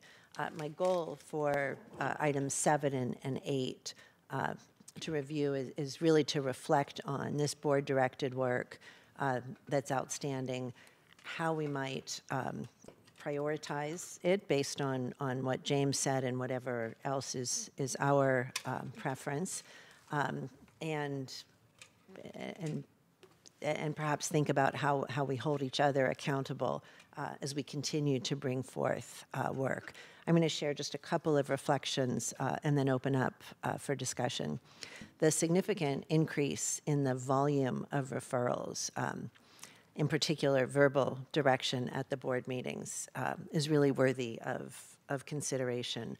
At, at the core, I think this is, this is really about the quality of communication between board and staff the four recommendations um, from staff, I do think represent best practices that, that I hope all five of us will, will adopt to the greatest extent possible. Uh, and at the same time, I think there are important actions from staff that would help facilitate this improved and, and hopefully streamlined communication. And I'll offer three specific recommendations for administration. First, that ledge files and all meeting materials post on time with the agenda uh, on Wednesdays. This is really critical to allow board members and our staffs to review reports, to have time to uh, have discussions with administration or department folks uh, ahead of the meeting, as, as James recommended, as well as to allow the public to review and share their perspectives uh, with us.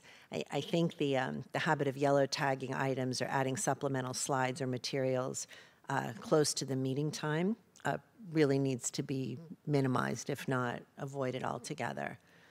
Uh, second, that staff take care to assure that reports back are responsive to the request. Uh, my sense is that many DAIS referrals, and, and, perhaps I'm only speaking for myself, and, and I did see how enormous my list was. Thank you very much. Um, whether in comments on, on consent or during the regular course of the meeting, are often to address gaps in submitted materials or to refer items to ongoing discussion at a policy committee or a future board meeting. And I think that, that staff can help us minimize the requests by checking in with the supervisor that initiated a referral to assure that the submitted report is responsive to the original request prior to the agenda posting. And in the same way that staff is recommending that referrals be be vetted by the board office um, before submitting, that same kind of vetting and review on reports back uh, might help reduce the number of follow-up requests. And lastly, um, I think that we should use the, the matrix as a tool to track progress, including distributing the electronic copy of the matrix to the board chiefs of staff every month. Um, having the supervisors confirm that an item has been completed before removing from the, the matrix. So th those would be my suggestions. Very happy to, to hear whether those are in line with your thoughts or you've got additional, better, or, or replacements. Supervisor Chavez. Yes, thank you. Um, I, I, uh, I think that the, the, um, the opportunity to restructure this is going to be very um, instructive to the cultural relationship between the board and the staff.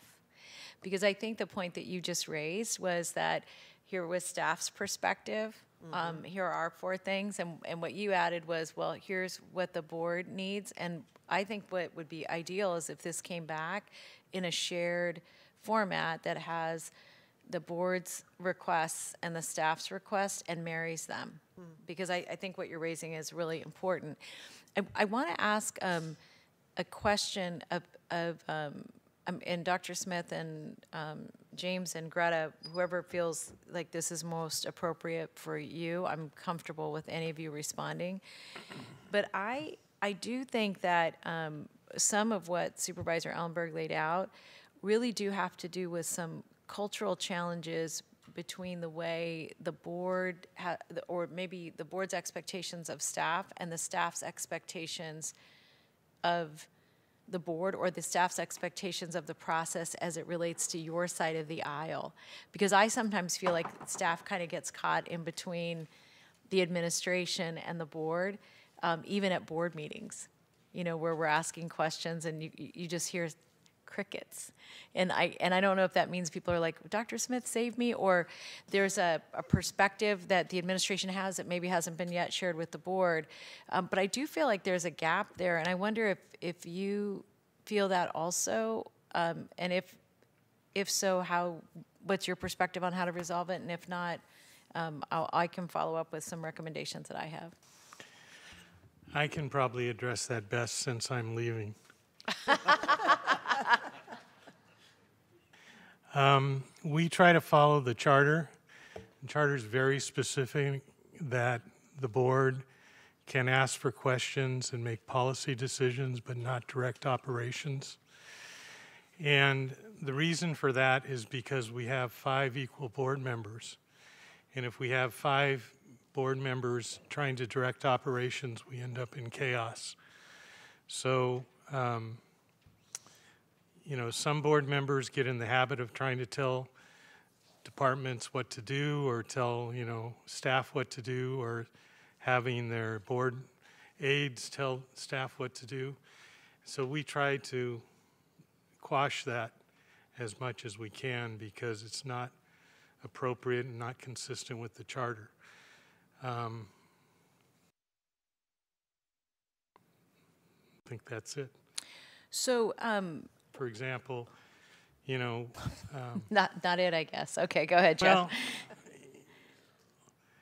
if you look at the board, at the charter and the board's um, policy directions in writing, for example, the policy committees are subcommittees that don't have the authority to approve or direct staff actions. Directing staff actions takes three votes of the board. But we oftentimes see subcommittees trying to direct actions without getting board action. That's a problem for us. Yeah, and I let me follow up on that one. I'm glad you raised it because I've, I've actually had some challenges with the Children's Family Seniors Committee around this subject. And I think that um, this is an opportunity, and I, I do think it goes in this, in this uh, body of work, that there may be value in um, agendizing the, the a, a more robust discussion about how items are supposed to move from committee to the full board. And, and that way there's agreement across, there's a standard operating procedure for all the, all of the board, but also the staff. Um, because depending on the board I'm on, the, the responsiveness of staff can be very different. And so I, I do think that, that that would be helpful for the board. Um, and let me just share, you know, kind of my perspective on this. My perspective is that um, that there's a bright line, and that the charter says a lot about what the board can do vis-a-vis the staff. And your point always about making sure that you're, you know, that it's that three votes direct the the work of the county is really important. There's, I, I actually had an opportunity to look at the charter because I, I thought that might come up today. And there's a and there's a part of the charter and it's section 302A that I, I would just ask my colleagues to take a look at. And the reason for that is that the beginning of that starts with the Board of Supervisors shall have the power to consolidate, segregate, transfer, abolish, or reassign the powers, duties, and functions of any appointed county office, commission, department, or division thereof whenever there's respective duties thereof are inconsistent. The board shall have the similar powers. You know, I mean, it's like a, like we both have power. So I, I just want to say that, that I think that where we need to move from is the from where we are now, which I sometimes feel is a bit of a stalemate, to um, what you were raising, Susan, which is having clear expectations for all parties. I just want to um, give an uh, some feedback on the these examples. On item two, um, I, by the way, on item one, I think that's really important on uh, removing items from consent. If if the board's if all my colleagues are comfortable with that. The one thing I would say on that item is that um, often uh, we will ask questions, and this brings me actually rolls into item two, prior to the meeting, especially when we have the information beforehand, and staff um, is often not responsive. So my staff will give me the questions they sent, the date they sent it, crickets until Tuesday, and then we get either no information or more information. So what you often hear, at least from my, from me, is asking something on the record because the way it's been, I'm interpreting it is that we asked for information about the item and it's going to take an act of Congress or at least an act of the board to get the information we want, which is three votes. So I added uh, as a referral, which I would prefer not to do because I would prefer to have the information on items that I'm voting on. So I, I would absolutely think um, that I would request that that we also have um, some sort of understanding of what it means to be responsive to um, board asking questions prior to the meeting so that we're not using everybody's time in a way that's inappropriate. And it, again, that's department by department, person by person, very different. I see Greta has her light on. Greta. I was going to pick up on maybe the easiest part of the, the thing that you said earlier, which is just about the sort of deer in headlights look that you sometimes see from staff. And one thing I am very excited about, about being back in person, that I think is a, a simple thing, is I, I do think um, one thing that I've noticed in this new role that's a um, an, an area of, of um, my responsibility now that I think I hadn't quite thought about before was helping our departmental staff actually provide responsive answers to the board in response to their questions. So I'll just pick up on there have been a couple of discussions in the context of behavioral health where it's clear to me what a board member is getting at, which is to quote Supervisor Simitian, the sort of how would I explain this at my sidewalk office hours type response. And I think sometimes our staff haven't know how to answer the question for other experts in the field or know how to have the conversation with um, colleagues um, or, or their super their their personal supervisor, their manager. Um, but struggle sometimes to translate that in the way that's actually the meaningful answer that the board member is looking for. So a lot of the time that we spend, or sometimes the the deer in headlights look, is trying to, I think, them figure out what how do I answer in a way that really is responsive to what I think the supervisor is getting at? And I think now that we're actually back in person, a little bit of ability for us to in real time make eye contact with the staff member to say, let me add on to what you said and maybe play that translating role may allow us better than even we were able to do not being in the same room as administration to provide the more robust and complete in-person response. And I think the other um, thing I'll just mention is, you know, the getting the questions in advance. I hear what you're saying, which is if you send them in advance and then you don't get the response back, well, that's not particularly helpful. Um, but I, I, do think sometimes um, for staff also trying to figure out how to have the conversation with the supervisor to be able to, to go back and forth in real time even before the board meeting, which sometimes isn't feasible. Where we've been able to do that, I think often gets a much more satisfying and complete um, either answer to the supervisor's question or even sets them up to ask what are a little bit more targeted questions during the board meeting because they now have at least gotten all of the contextual questions answered. Um, and also allows us to make sure we're bringing the right staff. So I'm hopeful that some of the um, benefits of the in-person format that we now get to enjoy together will alleviate at least what's been some of our um, pain points in these areas over the last couple of years. Let me uh, show you online the uh, sections of the charter that you refer to and what we're concerned about. You'll notice that it says the board shall have the power to consolidate and do all these things with appointed county offices. And then here in section 303, except for the purposes of inquiring information, neither the board nor any member thereof shall deal with any administrative officer or employee appointed by the county executive except through the county executive.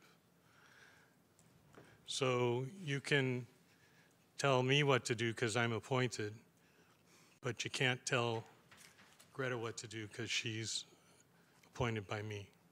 Yeah, I think we all understand that, Jeff. I think the reason I the reason I raised this is that, in some respects, I think um, this goes back to the question I was raising about culture and my concern is that if we, it, and the reason I think transparency actually has to be really core is that my concern is that there isn't enough transparency between the administration and the and the board on occasion. And to go back to a point that Supervisor Ellenberg raised is that that if we're not getting questions responded to, or the referral comes back after a a unanimous vote of the board and is still not responsive or doesn't come back for months and months, those are all problems. And so I, I think that what I would just want to add to the really good ideas that Supervisor Ellenberg had was making sure that there's um, a pretty strong understanding of what it means to be responsive before the board meeting, that the um,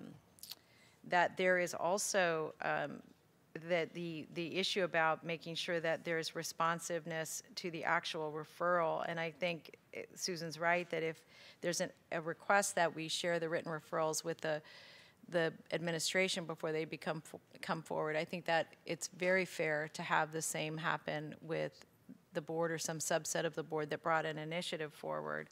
And then the other thing I would add as, um, I would add a five and a six, and I think the responsiveness is a, is the six.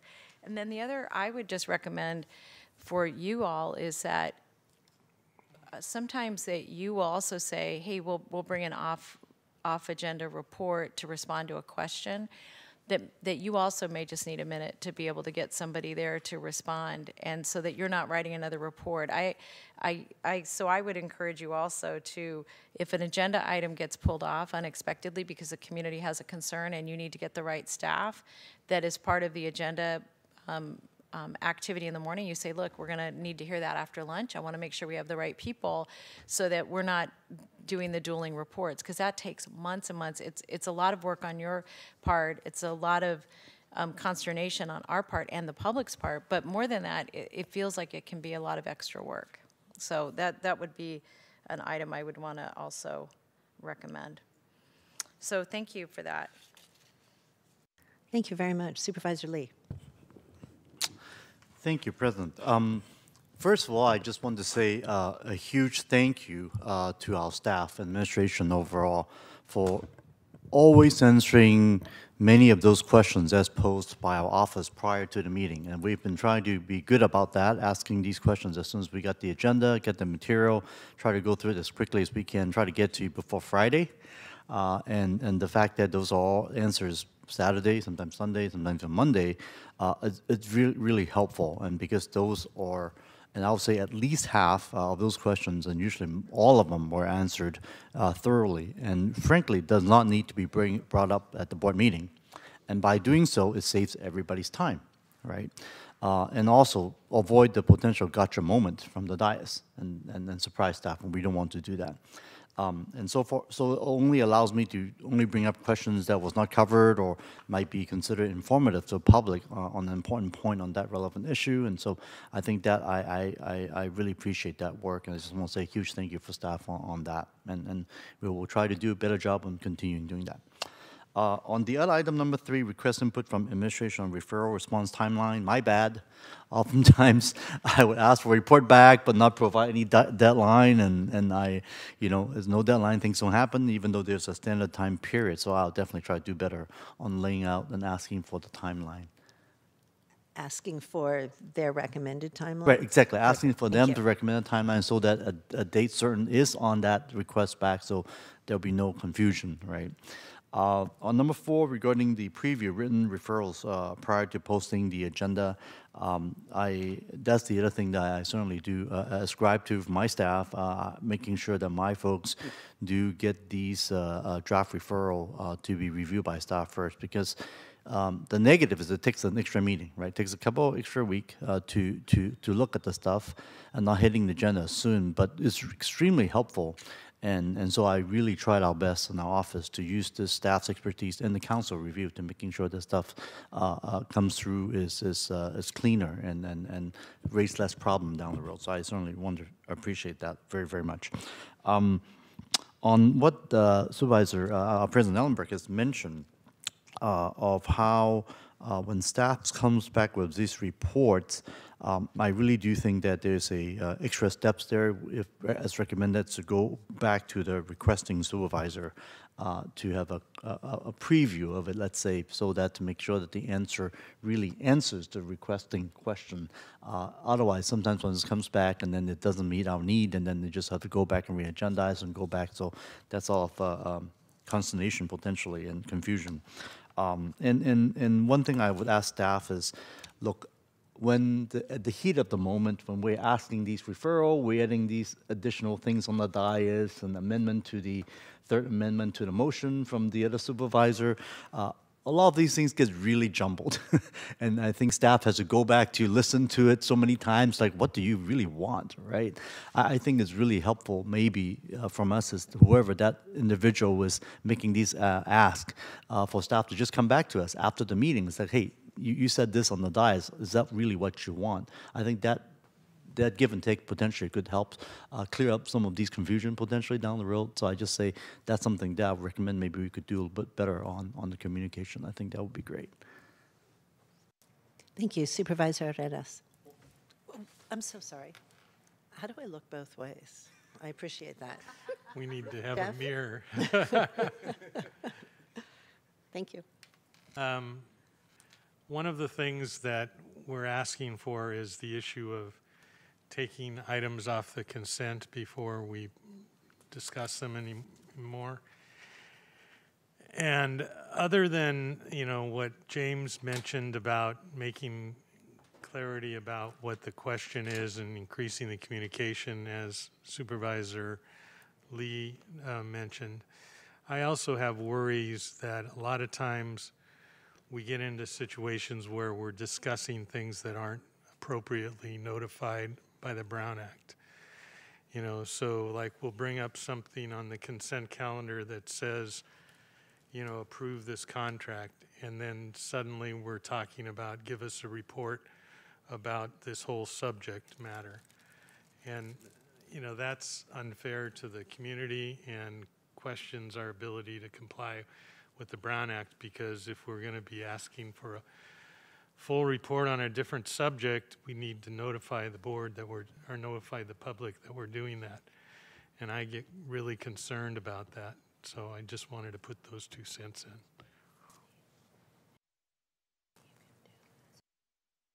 Are you finished? Supervisor Arenas. Oh, hi.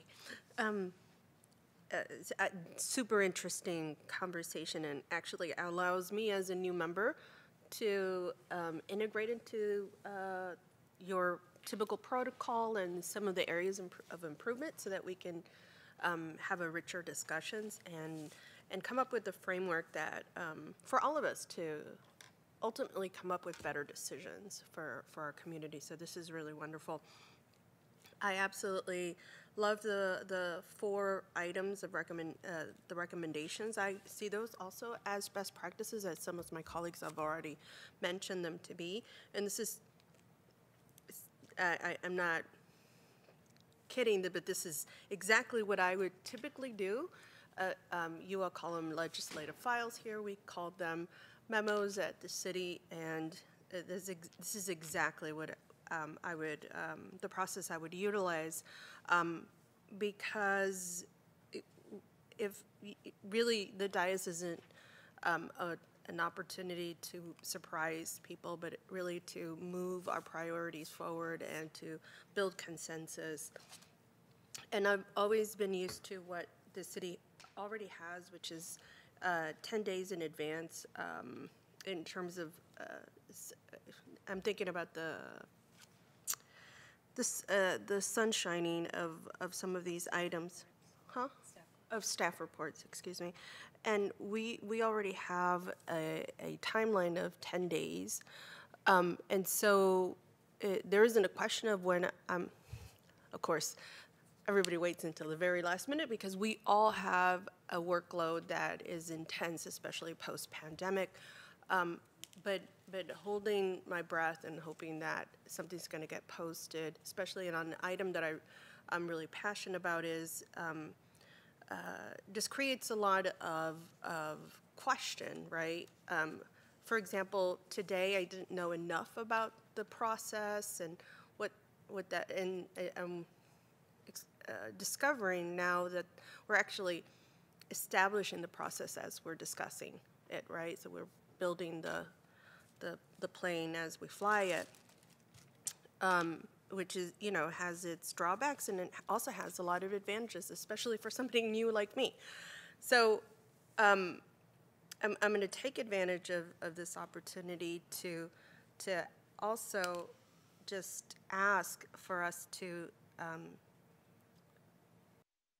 establish some some kind of timeline that would uh, respect uh, uh, the workload on both sides, both administration and the policymakers.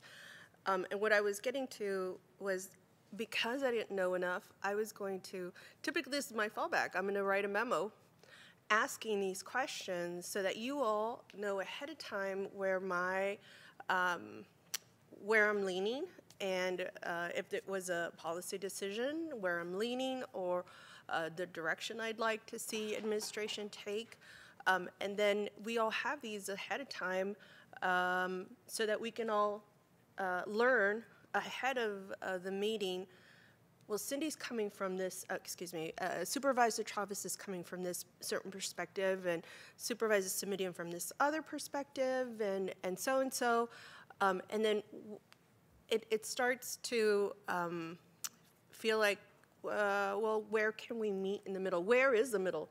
If two of us are on very extreme sides, then it's going to be a very long discussion. Or if three of us are on uh, uh, uh, uh, extreme ends of the discussion. And so I think for, for me, um, what I would fall back to is a memo, a legislative file. So I, I don't know what the um, practice is here, but I'd love to, um, and if uh, people would just take the time to let me know, and I'm slowly exploring. But isn't isn't that something that we that typically we could um, utilize as a tool to actually begin the conversation before we begin the conversation, but also respect the timeline and, and bring the, the information that we need, that baseline information at a certain timeline, um, so then we could then have this back and forth. Behind uh, the scenes, just a technical questions, nothing because of lack of transparency, just uh, let me understand this correctly. Um, and then we write a legislative file that would reflect our our points that we want to make and potentially a recommendation. Um, I know that was a lot, but hopefully I- somebody But, um, give me a but it- But it's all important, and, and I'll look to Dr. Smith to uh, respond both in terms of feasibility and Brown Act.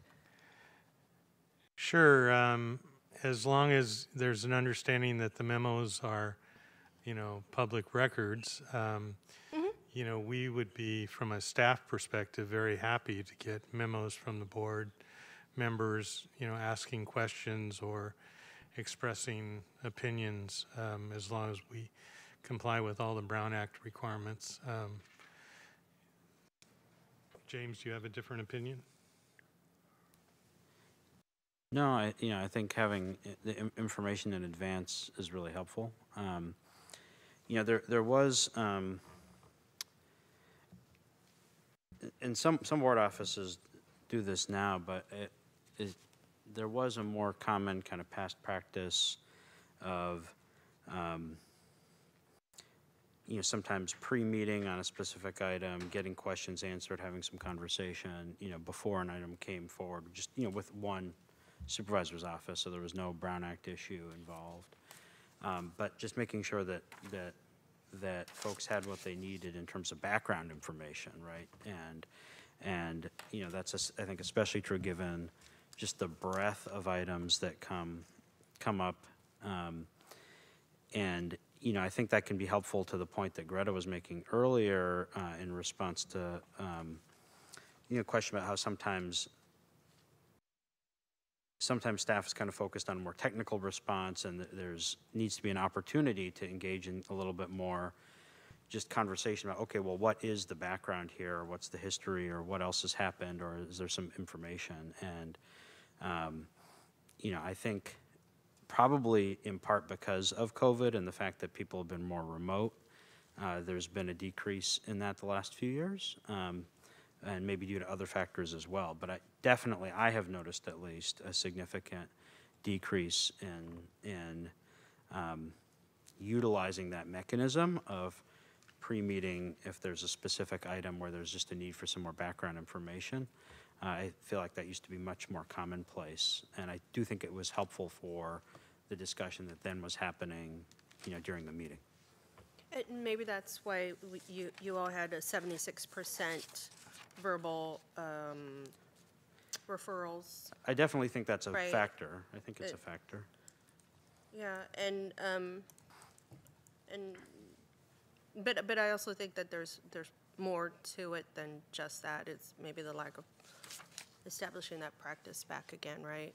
Um, but I'm glad we're having this, this conversation. It allows me to understand, um, for this, uh, group what we would all like to see, um, but also administration, what would be useful um, so that we can create um, a, perfect environment of collaboration and, and then also bring in our stakeholders. So um, I don't know for me that there's anything missing. Uh, um, I think uh, Supervisor um, Ellenberg, you've already talked about the sunshining um, timeline, and so hopefully that gets integrated into um,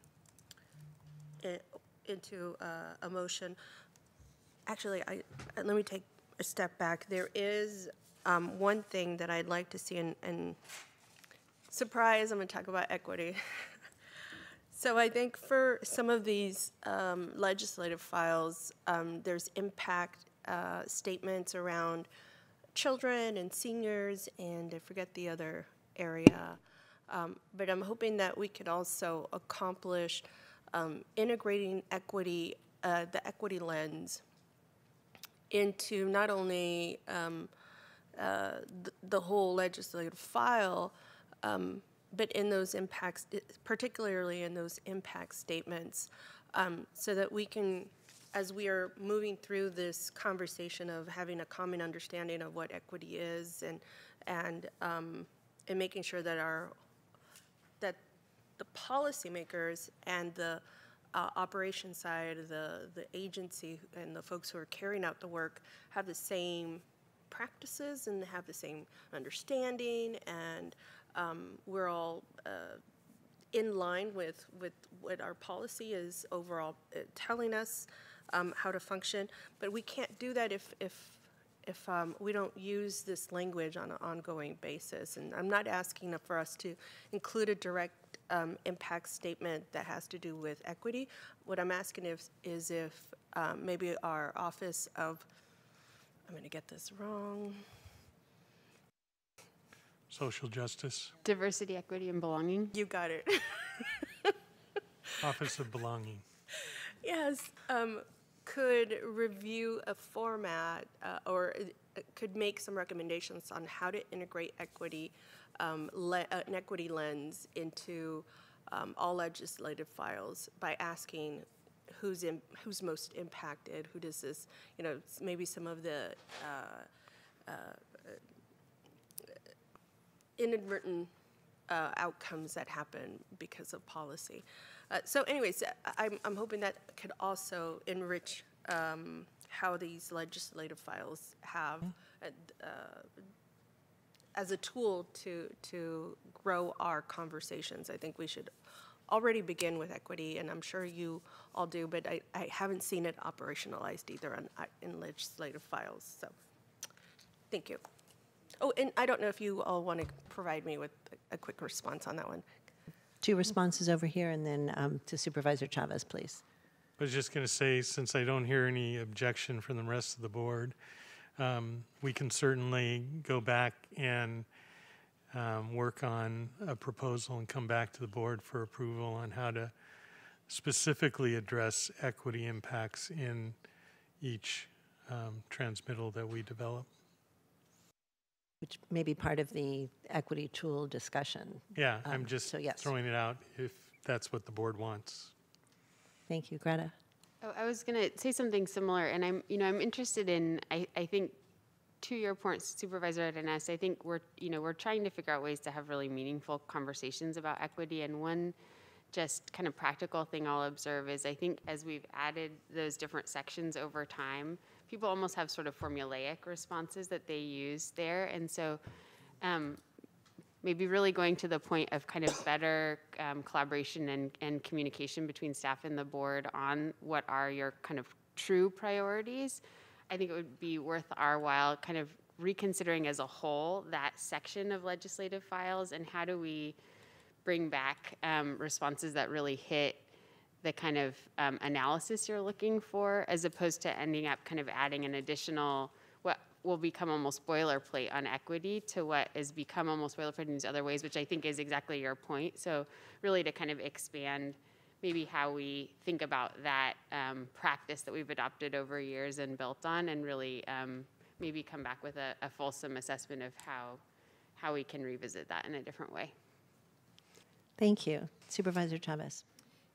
Yes, I, I, um, I just wanted to ask uh, James this question. It, it was really in response to a point that Dr. Smith raised about um, items that are not on the agenda being discussed. And I wonder if,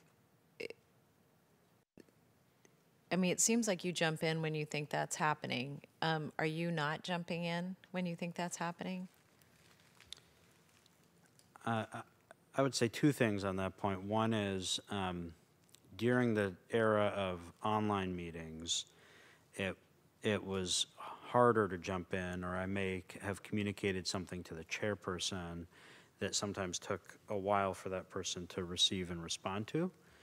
Um, that is a little easier to do, I think, in person. Um, and in general, um, my philosophy has been to try to err on the side of allowing conversation to occur. Um, we have, I think, strayed a, a few times, and there's certainly been some times when I've definitely spoken up specifically. Um, so it's it's it's you know it's a little bit. Um, it's not a mathematical formula, obviously. Right, Um, right. But the you know it's it's a question of is it would the public reasonably have notice that what's being discussed is covered within the subject matter of the verbiage that's listed on the agenda for that item? Well, and I would imagine that new direction from the county is different than getting an information for, I mean, a request for information.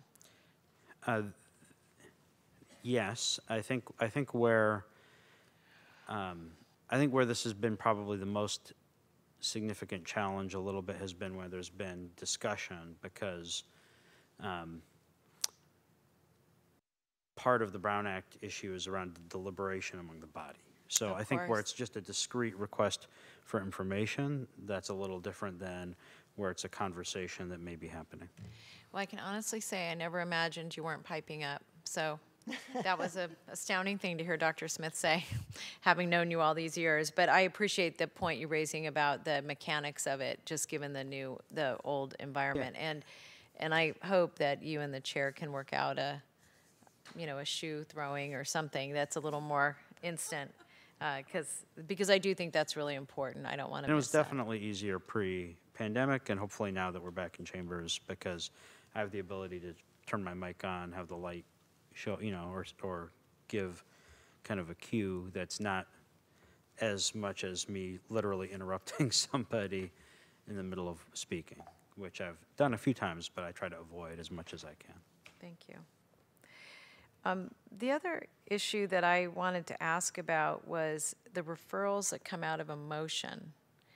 And um, I, I wonder, and I don't know who did this analysis, but I'm, I'm wondering if, um, I mean, the, the way I, the way I have interpreted that at meetings when there's a, a, a motion is that if there's, if the staff brings a direction and the board doesn't agree and the board changes it, that in your mind is a referral? Or if there's additions because it wasn't complete? I mean, this goes back to the point that Susan raised earlier, but is that, is that a referral?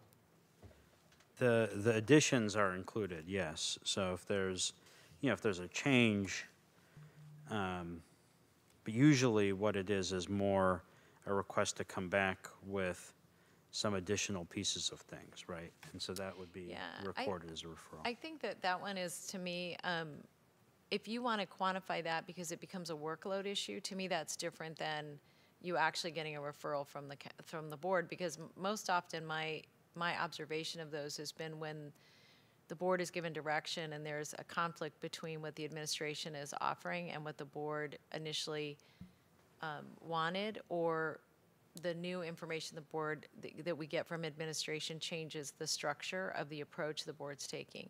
And I only say that, colleagues, because to me, that's not necessarily a sign of the board, you know, being um, negligent in our responsibilities. It really, I think, has more to do with how we can improve communication. I think it goes back, Susan, to the very first thing that you said in this section, and I, I just want to amplify that. I think you're, I think the way you framed it was really right on, and I think that point you raised was really important. And and as it relates to future analysis, I think it would, it- which I don't think is a bad thing, I think it's worth us diving in a little more to that because I think that speaks more to the communication between the board as a whole and the staff as a whole, not even individual offices necessarily. Thank you. Thank you. Um, Greta, and then we will move on to item uh, nine. I just wanted to um, bring up one point that I think is kind of overarching to some of the conversations, which is just the volume point. And I'll just say, I think from an operational reality standpoint, I agree that a lot of times the responses don't, um, certainly don't reflect kind of the best work, the most complete work that we could bring forward. And I think sometimes that's also a function of just the scrambling to try and meet the volume and the deadlines. And so I just wanted to name that as also kind of an interrelated um, challenge that we face is sometimes when we're coming up on the 45 day deadlines, the work that we can produce by some of those timelines isn't complete in our minds. And so it makes sense then there's a request for additional information, but it then um, means that that referral is not done while other ones then come. And so I think that there, I think the the shared goal of the board and staff going forward is going to be to sort of have fewer referrals and higher quality responses. And I think all of the suggestions that I'm hearing come forward are really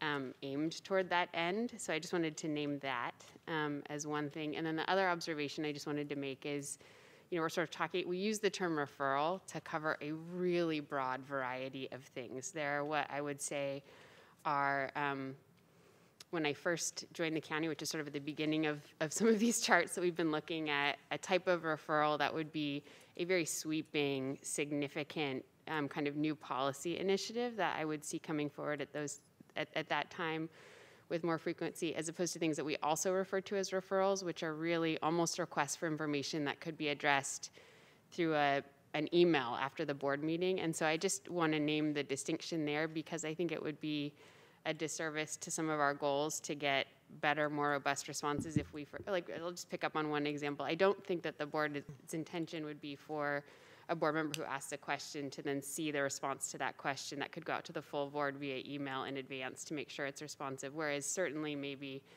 if we're talking about something that's a really significant policy endeavor that that board member is championing, kind of understanding what the direction is in the dialogue that I think we really historically did have with that board member to make sure that we were deeply understanding their policy goals with the referral and kind of bringing forward a response that was really aligned with those. So wanted to make those two comments that I think are animating some of my reflections on this discussion. Thank you. Uh, Do I get the light? two You- cents? You can have two cents, and then really, really, we're going to item nine. Um, the practicality of having some time expectations is that um, basically when we get a referral from the dais saying come back in two weeks, that means come back in three days because we have to go through the entire um, part process of agendizing and getting all the information. So that effectively puts that referral at the beginning of highest priority of the list, and everything else falls behind. So, in effect, what's happening is the referrals are determining what your board's pol- policy priorities are.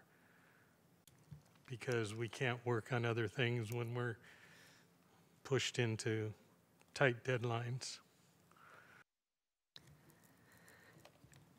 Thank you. Uh, a lot of truth telling here today. I appreciate that. Um, we're going to move for real onto items nine and 10, but before we do, I just want to make a, a quick announcement. I did announce at the very beginning of the meeting that there would be one public comment session on both on items on the agenda and off of the agenda.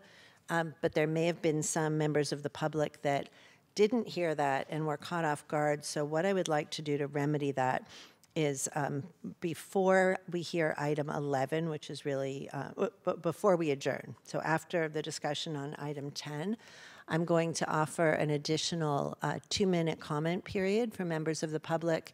Um, related to any of the agenda items. We're not going to do separate uh, times for all of the items, but we will offer um, a two minute um, speaking period, and uh, apologies if that wasn't made clear to everybody. And um, I have really appreciated the, the flow of, of this conversation amongst my, my colleagues, which is why uh, I chose this format so that, uh, unlike a regular business board meeting, this was an opportunity for, for some deep discussions that, that I think have been um, very productive amongst the, the board and administration. So thank you all for that. And finally, um, there may be some interest in subtopic in this topic. So let's move on to a report on the budget equity tool.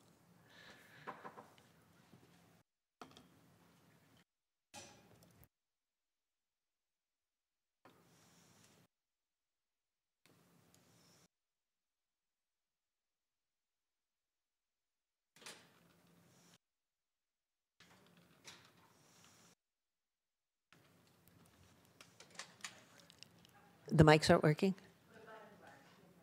Ah.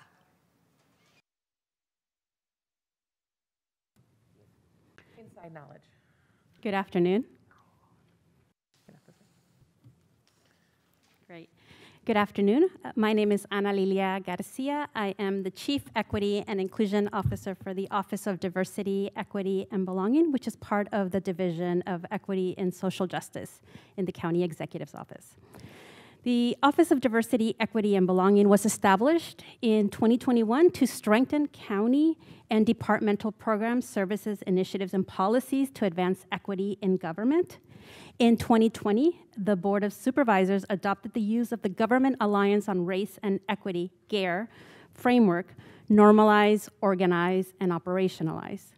GARE is a national network of government municipalities working to address systemic inequities by establishing a set of principles, strategies, and resources that are made available to support government in making tangible improvements in how we do business to improve the lives of the communities we serve. In August of 2020, the board adopted the Equity Work Plan, formally stating the county's commitment to the use of principles of equity in policy and budgeting decisions to prioritize accessibility, diversity, equity, and inclusion across departments and services. This is in part due to the racial unrest that resulted from the murder of George Floyd and the many lives lost before and after him due to police brutality, racial injustice, oppression, and violence, which sparked nationwide and local protests demanding reform. A budget equity tool is an example of a racial equity impact assessment tool or a racial equity toolkit, and it is designed to integrate explicit considerations of racial and economic equity into the budget development process. The first iteration of the county's budget equity tool was developed in collaboration with the Office of Budget and Analysis and the Office of Diversity, Equity, and Belonging. The budget equity tool is informed by and builds on national best practice from other government jur jurisdictions doing equity work across the country. County application of a uniform budget equity tool provides county departments and agencies with a structured way to apply equity concepts to key decision making processes around resource allocation and assess equity impacts of budgetary decisions. In essence, it provides a check and balance approach to better decision making that can be qualified and quantified beyond concepts, which is helpful in evaluating whether we are indeed making strides in our collective goal of meeting community needs in a way that mitigates additional harms that historically have, caused, have been caused by exclusionary governmental policies and decisions. To support departments in the completion of the budget equity tool between October and December of 2022, the Office of Diversity, Equity, and Belonging and OBA, in partnership with GARE, facilitated eight trainings and workshops with executive leadership, fiscal teams, and program teams on foundational concepts and on the budget equity tool itself. Consultation and drop-in sessions for technical assistance are currently in progress. Good afternoon. This is Tony Fleece, and I'm a budget and financial planning manager in the County Executive's Office of Budget and Analysis. As a result of this process, in the months to come, we will be reviewing the equity impacts and measures of success and alignment with strategic goals to ensure that requests are strategically considered. OBA analysts will also be incorporating equity-specific guiding questions into the existing process for developing recommended actions to support analysis of the equity impact of each budget proposal. We understand that the budget is a priority setting document and a reflection of our values, and we are excited for additional data on equity impacts so that can be part of the consideration. To that end, the board will see a recommended budget that has integrated an equity lens, which will support the board in their role as policymakers. We see value in data sharing among departments for equity impacts and encouraging collaboration among departments in submitting their budget requests. Also, in recognizing that some of their needs may not be addressed if another department has a greater need. In the first year of formalizing this process, there is a recognition that every department is in a different place, and it will take time to develop the institutional muscle to normalize conversations about equity. We will continue to provide foundational trainings to ensure everyone is aware and able to utilize this tool and to learn from departments that are further along in their knowledge and comfort with this work. The departmental submission of budget equity tools will be an iterative process. From discussions with other jurisdictions as the county matures in, it, in its advancement of equity, the budget equity tool will evolve and subsequent iterations will build upon the lessons learned in the initial budget cycle to ensure it is working in our organization and having an impact. With that, we want to provide an example for consideration of what we're trying to achieve and what the board we believe will celebrate as well. It is an example of collaboration between departments about being strategic and also accounting for equity impacts. It's regarding funding for our isolation and quarantine program and will be a collaboration between OSH, Public Health Department, and potentially Valley Healthcare down the road. It will benefit those without resources and from underserved populations, and it is key to our mission as well. It is an example of us being strategic, collaborative, and also factoring the importance of equity. That concludes our overview, and we are available for questions, and Budget Director Iturria is also available. Thank you very much for the report. Um, looking to colleagues for comments or, or questions. Supervisor Chavez. Great, thank you so much, and thank you for the report. Um, I was hoping you could talk just a little bit about the the current level of training. And um, I know uh, my staff had a chance to speak to you beforehand, um, but what I what was unclear to me when I was um, reviewing the notes was how many people uh, are being trained face to face versus online, and then and this may be a question, Dr. Smith, uh, for you or Greg, who is obligated to be trained?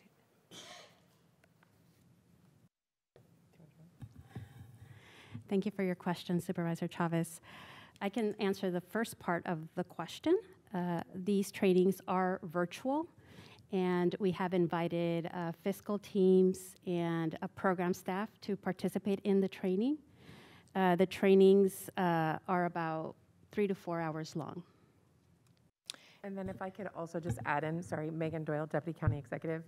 We've had trainings of um, our executive leadership group, which is basically all folks in the executive um, salary ordinance. So that's like, uh, you know, department heads, deputy directors, and such, including fiscal folks. And then also we had a in-person um, like tabletop discussion with department heads um, that happened in December to, with um, Dr. Garcia and her team, and um, and Greg Iturria doing doing overarching training to department heads. I could maybe follow up. Um, there's two types of training. One is the training on the budget tool, and that will focus on the department heads and the fiscal staff within the departments. Um, but then there's the GARE training, which is um, um, important training that's not necessarily connected to the budget. We're hopeful that we're going to be able to train the entire county in the GARE training, but that's a very ambitious goal because it's, you know, 23,000 people. But uh, I just wanted to make sure that I distinguished that. But, yeah, and today we're really talking about the budget tool. Right. Yeah. And, and the reason I was asking about the, the um, obligation is I'm presuming then that there's a framework that they follow for the, for the budget process? And is that like a, a form that people fill out, or what's the, what's the actual tool, tool? Through the chair, so Supervisor Chavez, as part of the budget equity training, as Dr. Garcia mentioned, uh, several hundred uh, program and fiscal staff from departments were included in the training. And so as part of that, it's going through the budget equity tool document and the questions that need to be answered in order to request um, any budget actions. And so that's, that's part of what departments will be submitting on February 3rd. So, um, just so I understand what the product is, is it a, is it a, a form they fill out as they bring their budget document forward? Is it a set of guidelines that you're asking them to follow? How, how does that get expressed actually physically through the process? Sure, let me guide you to packet page 46. And Cynthia, would you be able to put that on the screen? Thank you. Yeah, Yes, just I- give me I one have moment. that. So is this the form, this form comes in with the budget as they, as they present it to Dr. Smith? So in looking at this packet page, what we're asking departments to do in submitting their budget requests is to classify the request either as direct service or indirect service or infrastructure and include that in the, the budget form with the proposal. So I guess what I'm asking is, am I looking at the form? Or is there, is this, is there some other form that this is embedded in? No, you're looking at sort of the questions that will inform what the departments are providing us. But, but you're not looking at the form because that's a different, that's part of the budget process. Right, so yet to clarify, the form is in our budget system. So are these questions then embedded in the budget system? No, there's an equity impact section of the budget system that Okay, departments so fill then, out. then this is supposed to guide that little section? Correct. Okay, so, so i- is that because this is step one or phase one, and eventually something will act, it will actually be embedded in our, our overall budgeting tool? And the reason I'm saying this is, you know, the com- conversation we were just having about the impact to children and seniors on all of our documents or sustainability, to me, that, that, that that approach ha- has not, at least for me, um, really lifted up the, you know, sometimes honestly, I know people cut and paste it because you see the weirdest things in that box, or, oh no, there's no, no impact, and there's a ton of impact because it's about seniors. But I, that, so is that where we're starting? And, and that's okay if that's where we're starting, because initially I know that would not be the impact, but Well, is me- the long-term goal to actually embed it into the budget documents and proposals that Dr. Smith gets and then that we see. Let me uh, jump in. I think I understand the question. The budget submittal process from the departments to the county uh, budget office and then to the county executive in preparation for the recommended budget are all electronic, and we're in the process of changing the um, system because we don't think it has enough flexibility. So for now, we're asking in a blank um, area of the um, spreadsheet for those questions that you mentioned to be answered. And then we follow up in uh, meetings, staff meetings with the department heads and the finance staff in person, and we ask them to explain more. Then what you're talking about is when the, the recommended budget is created into a book and sent to the board, and we will expand on that so that that section has more information, as much information as we can, you know, appropriately get into it. So when the board sees the recommended budget in book form, they'll be able to see an explanation of equity. Now, as Ana Lilia pointed out, you know, we certainly expect some departments to do better than others. Um, It will be hard for departments that focus on internal services like TSS to have any significant explanation of equity impacts. But, you know, it's a start. I- I guess, um, if I, let me just go back to the point you raised, the, so the budget, the way the budget process is structured right now, the, f- we aren't able to change the, the format to include this new lens today. Like, that's something that would have to You come mean down to the road. include those questions specifically? Yeah, I, I guess I would, yes, because you made a comment about just the, the budget I- infrastructure. I'm presuming what that means is whatever we're using, whatever tool we're using online? Yeah, the budget document, the budget electronic documents are basically spreadsheets, proprietary spreadsheets. You know, it's like an access document, so different fields. And each proposal has a, number and what the proposal is and a description of why it's needed, the cost, you know, blah, blah, blah, and a bunch of other stuff, the budget unit. Um, It doesn't have room right now for all the questions we would like to ask. That's why we're changing it, because it's not as flexible as we'd like it to be. But since we do have room for a narrative explanation of the, equity impacts, we're asking the departments to put that in to the spreadsheet, and when we meet with them to go over their proposals, we'll ask for more detail so that we can put more detail into the budget book. So, um, if, as, um, as budget proposals come forward, if, if you were looking at, um,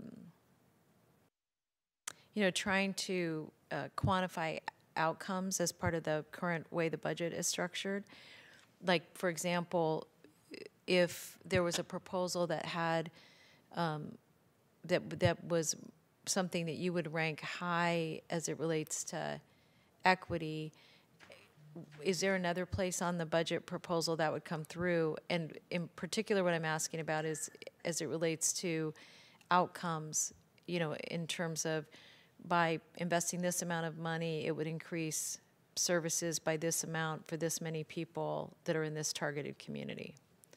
Does the budget document allow you to do that now? And is that also, you know, yeah. Well, you know, when you see the recommended budget, you see a lot of narrative plus a bunch of tables that have budgetary units and dollars attached. The um, budget, electronic budget document that we use really only comes up with the numbers and the tables. All of the rest of the narrative is created by us after talking with the department heads. Some of it's created by the departments. It's all done really um, after the balancing of the spreadsheets. So that will all be included, yes. But it's not through the- in the IT system. Yeah, through, through the board president, if, if I may, this is Greg Iturria, County Budget Director. Been trying to find the right way to, to insert myself without interrupting. Voice of Um, But, but uh, certainly, you know, th- there's no restriction in our, in our processes or, or systems from the, the sharing of information, you know, from the departments. You know, we do have an- an open system where uh, departments submit their proposals and where they enter, in like, as Dr. Smith mentioned, they enter electronically, what is the service impact?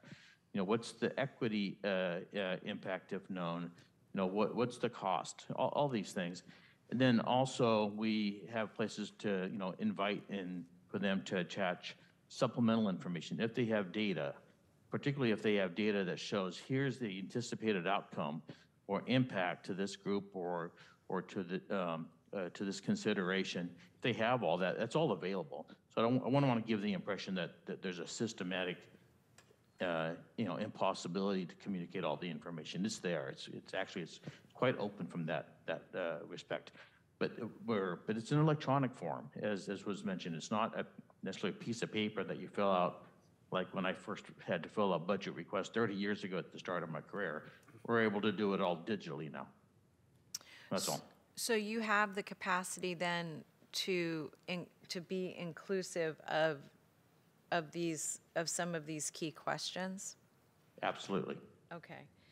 That's helpful Yeah. because I think what that, what that may, may mean is that um, as it relates to how, what opportunity there may be for the, the board and the public to see what we're prioritizing and why, that could be really um, very helpful. Because what I worry a little bit about is um, moving down a track too far that is so um, subjective that it's not, you know, and I think, Ana Lilia, the challenge that you and Tony are going to have across the organization is um, creating some shared um, vision around wh- wh- what it means and then how it gets implemented.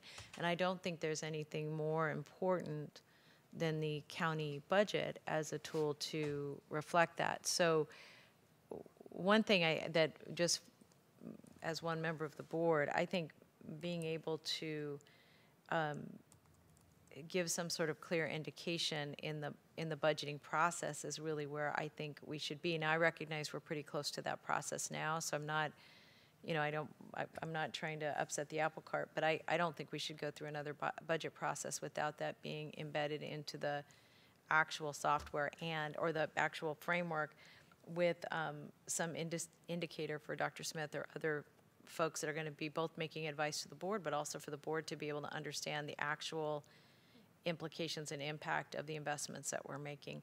And, and while it's not on the agenda to talk about budget, when we do start to talk about budget, this will also be um, an opportunity for us to talk about how we um, can do more around accountability in terms of how much we're spending to, for what outcome overall. All right, thank you. Thank you for that really, um, really very thorough and thoughtful exchange. Um, and Anna Lily, I saw you you nodding, and I and I wonder if and I heard Dr. Smith loud and clear and knew before that I'm not directing work to you, but curious as to whether your work plan happens to um, include a budget analysis, um, a proposed budget analysis. Um, using the the expertise and values of your office so that we could have an accompanying uh, statement, kind of like an, e- an audit, maybe an equity audit, that, that gives an accounting of how we're actually doing and where we spend our money.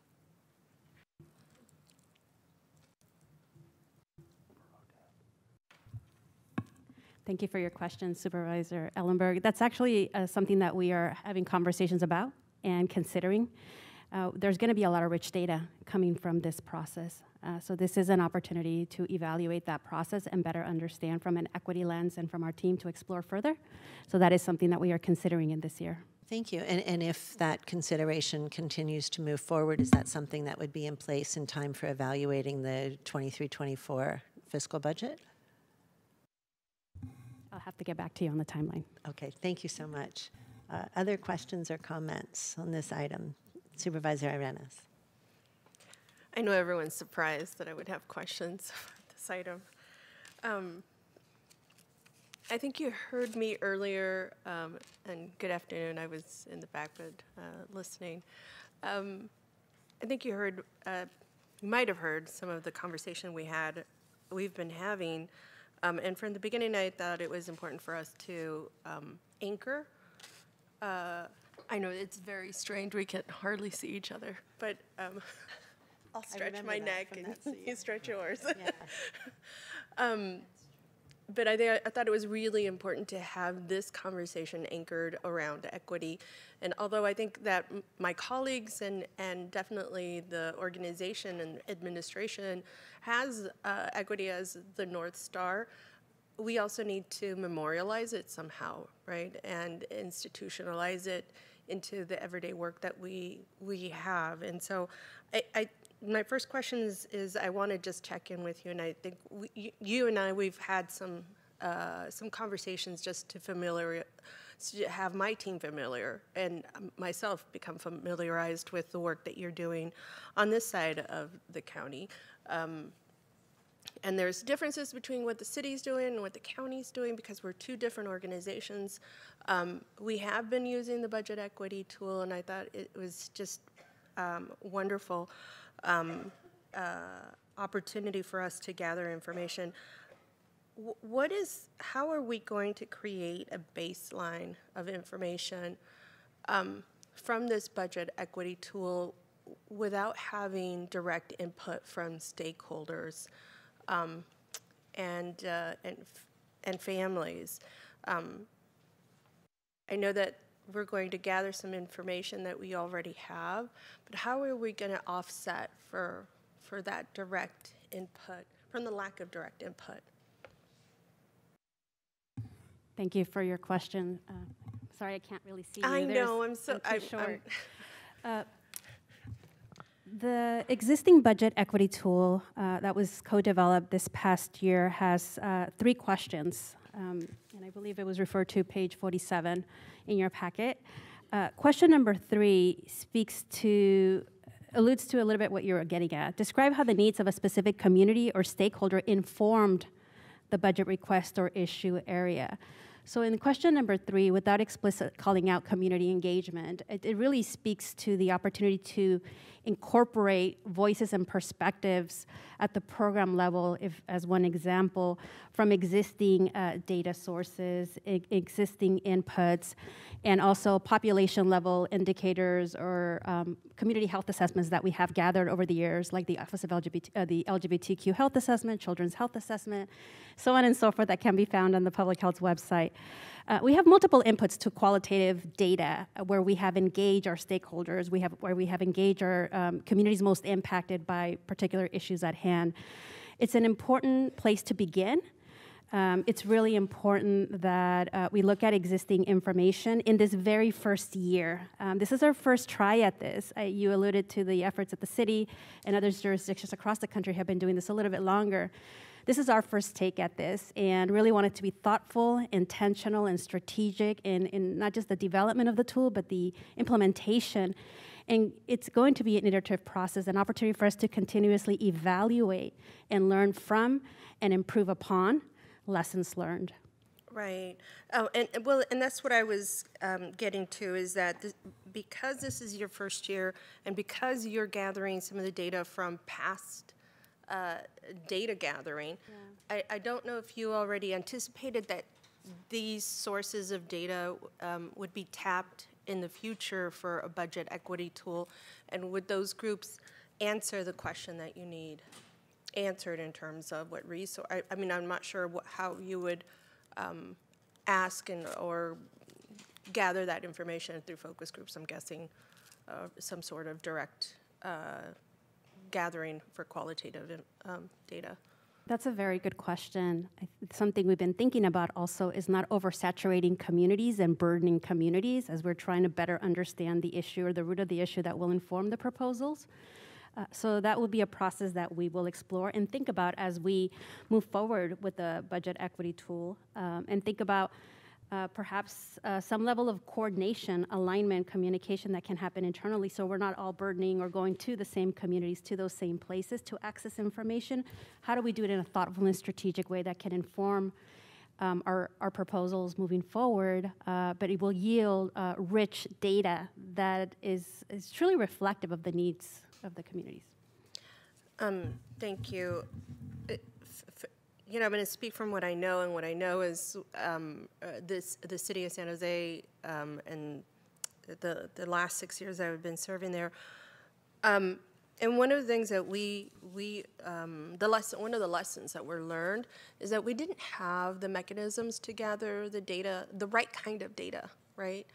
Um, and then we didn't have um, the professional uh, development or training available for our um, directors um, in order to lead all of this uh, um, in, in a different in a different way. And so a lot of what we were doing was just really establishing ourselves, right? Is trying to identify what kind of data we actually needed to, how can we standardize, uh, um, how can we have the baseline, um, uh, and how can we not only have a, a top-down down approach for, for equity, because it's easy for some of directors and, uh, you know, deputy um, executive, all of, all of the folks up in the, uh, the upper division, um, seniors, um, I feel like, you know, there's, the frontline folks are, are the freshmen. And, um, and even though th- I, well, that, that's a wrong analogy, and I'm, I'm not going to take the time to think of something else because I was going to think about something sporty. Um, but for efficiency's sake, I'm just going to leave it alone.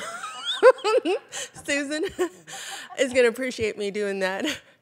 Anyways, the direct staff actually has a hands-on um, learning, um, and that some of that information doesn't get to our direct staff, even though they might be, you know, some of that interaction is is already based on equity and honoring our community in a way um, that already uh, acknowledges race and some of the structural um, racism that we have built into some of the practices and trying to undo those, right? Um, and so a lot of um, anti-racist uh, strategies.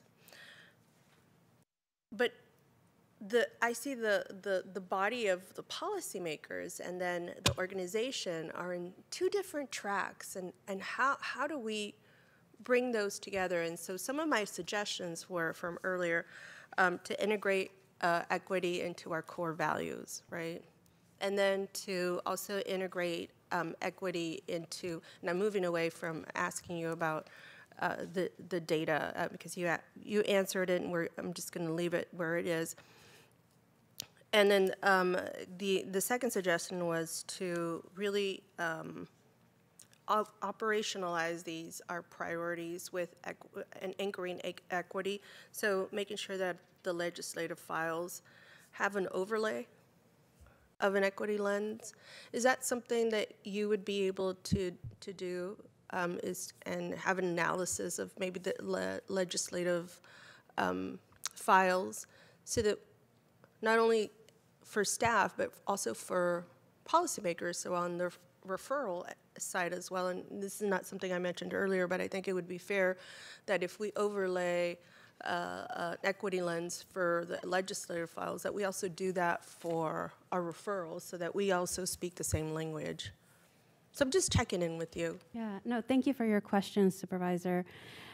I think first we really need to deconstruct and what an equity lens means um, and, and, normalize that. Uh, so we have a shared understanding at the root operationalizing an equity lens is really looking at the data, mm-hmm. both qualitative and quantitatively, and engaging those communities that are going to be most impacted by said issue at the, at the very root of that simpl- oversimplification. So just having a uh, understanding what it means to apply that lens and how that shows up in a budget equity tool. These three questions are an opportunity to apply that lens to mm-hmm. a budget process. Um, and in terms of the opportunity to apply that lens to referrals or other examples, that it's something that um, I can explore and think about further. Uh, but at the root of that, I think it's just the role of this Office of Diversity, Equity, and Belonging is to support departments across this county in operationalizing an equity lens, deconstructing what that means, and the importance of starting with a, a, shared understanding and conversations, because it's not enough to have a conversation and go through a training, but then right. how are you going to bridge that and operationalize that in day to day operations, the way we do business, the way we make decisions, right. whether they're programmatic or budgetary or otherwise? Great, great segue into what I was going to ask you next, and that is how do we get, um, uh, because we're asking this of the whole organization. How do we, as policymakers, also, um, and this is not a question that I, I want my colleagues to, I want my colleagues to answer. I don't expect you to, to answer, Ana Lilia, um, because that's unfair. But I think that we also need to take a look at how we are trained and how we are creating a baseline um, uh, uh, from a set of trainings. I don't think it's enough just to have one GARE orientation or a handout and then um, believe that you've captured a, a very complex um, concept that is also um, creating tension not only in our systems but across our nation and across all kinds of cities. And it's um, a continued um, learning that we have to have. And so i'm hoping that as as a body, a legis- uh, policymakers, that we hopefully establish a series that we can um, continue to have. Um, this is something that I push for in the city because we we had 10 people and, and it was very difficult to have a conversation um, that had a common understanding of what equity was. We hadn't defined equity, and we would always say, you know, well, you're talking about equality, and I'm talking about equity, and you're not comfortable with race, and or maybe I'm not comfortable with race, and we all have a, a different um, learning style and different pace of learning. But I, I think it's important as policymakers, especially if we um, hope to um, have long-term generational change for through our county services um, and the safety net that that that you all have been leading that I just jumped into, that we would honor that with some rich discussions and um, potentially uncomfortable discussions, but um, discussions that will allow us to to grow. And so I'm hoping that we can also take a look at that and see what my colleagues think of a series that would involve all five of us in a public setting where we would talk about equity and how we are integrating that into our priorities or what that really means. Um, I'm not I'm not Ana Lilia, but Ana Lilia would tell us how to do this um, and how to carry out these kinds of trainings for policymakers. And so, anyways, I'm, I'm hoping to hear from from uh, um, my colleagues around that. Thank you, Thank. Supervisor Arenas. Um, I will look to colleagues. I'm also going to do a, a time check. I had promised um, that we will be out at five. It's 4:32. Um, so I am looking to hear any final comments on this item. As I noted, I'm going to take another public comment session and then offer um, a motion which doesn't include new work, perhaps just a reorganization of existing uh, work, and then um, and then we can go on with our days. So, Supervisor Chavez. You know, um, first of all, I, I really appreciated the exchange, and um, I, one thing that I, I, I was thinking about that was missing is even how, under some circumstances, the disadvantaged group is very different. And I was mindful that there was not a mention of women. And one reason I want to lift this up, colleagues, is that you know, prior to 2000, I don't know, maybe 13, a county of our size was spending less than a million dollars on services related to domestic violence, sexual assault, human trafficking on the service side. And I, you know, I, I don't I don't think that's because we had people here who weren't thinking about thinking about it. I do think there though that the struggle to get that that um, the, the money invested, the, the time and all of that is a reflection of how we don't always know when we are and aren't prioritizing things and why. And, um, and I, I could give you a couple of examples, but, but all that is to say that I am very interested in understanding even how that, that what, what's the trigger that helps us understand that. And I think the point that um, uh, Supervisor Arenas just raised about why community input is so important. I think there are a lot of women who have who have testified before this board who have pretty strong opinions about why they think it took so long. And you know and so anyway i, I say all that because I'm, I'm, sure that's true in many instances in different ways. Um, and so i really want to re-emphasize the importance of making sure that as we're thinking about community engagement that we're thinking about it perhaps in ways that seem um, that may not be obvious to us that we're really going to have to listen to folks. And I was even thinking about that as it relates to children. So, anyway, just not to make it more complicated. Thank you for all your good work that you're going to do. It's going to be super complicated. But thank you, colleagues. Thank you. Uh, Supervisor Simitian or Supervisor Lee, anything to add? I'll pass, but uh, please understand it's just in deference to the hour, not a lack of engagement or interest. Thank you. one one thing I just want to add, I think it's obvious for those who's in this area, but equity is equity is not the same as equality, and I think that's something that's been so messed up in explaining what that means. And we can go on and on, and, but those of us understand what that is. I just want to make sure that's also the thinking cap that we have when we think about is providing just the facial equality does not mean equity. Thank you. Thank you very much. Thank you, Ana Lilia and Tony, and again, um, thank you, Megan, really to uh, all of the, the staff. A lot of work, I'm aware, goes in um, before and during the, the meetings in order to provide us a venue for discussion, and I'm very, very much appreciative.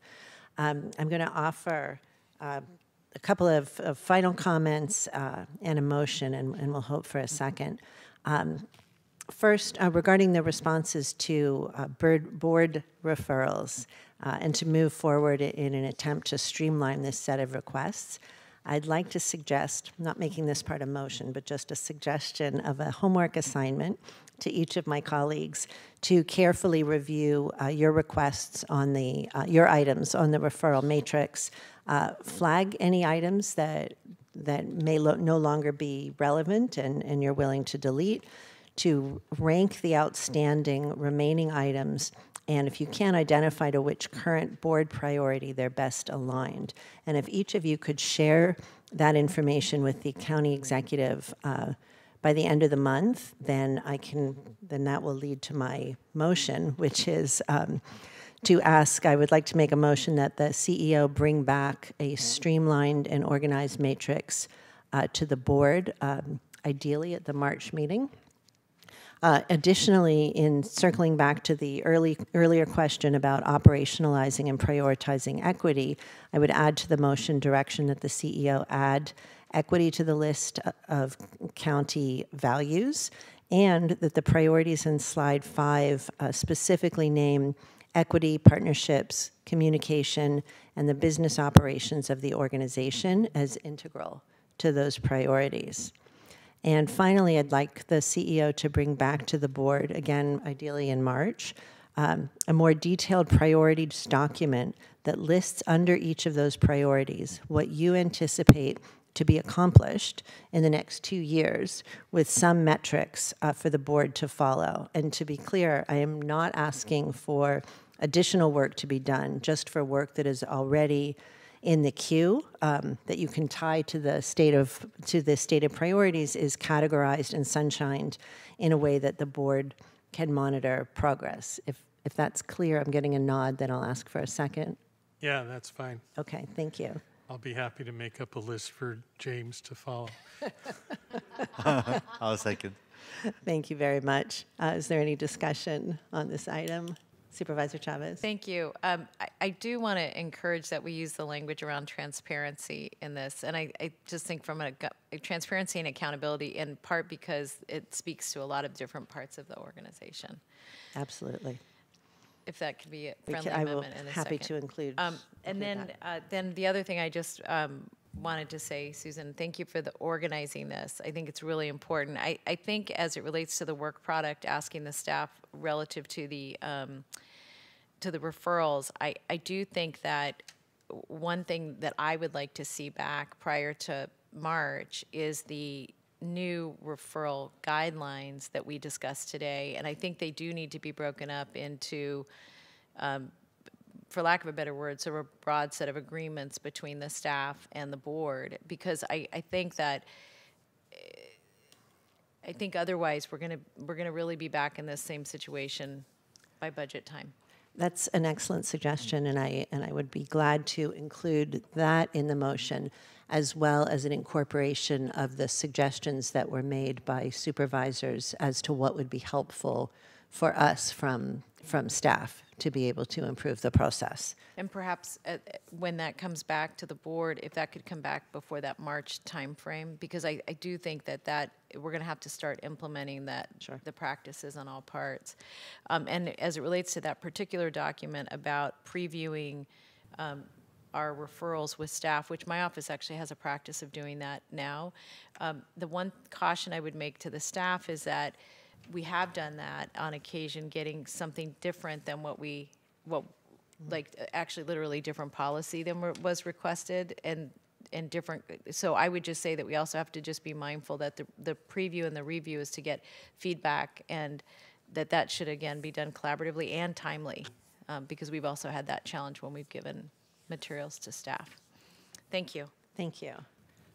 All right, I see no, I see a red light. Just a quick question to, to clarify. I thought I heard you distinguish between the first part, which was an exhortation to your colleagues, and that was distinguished from an actual motion slash direction to staff. Did I get that right? You got that right, Supervisor thank But if you'd like me to add that to the Oh, motion. Oh, no, I'm, I'm good to go, just the way it is, Madam Chair. Thank you for that. Right, taking yes for an answer.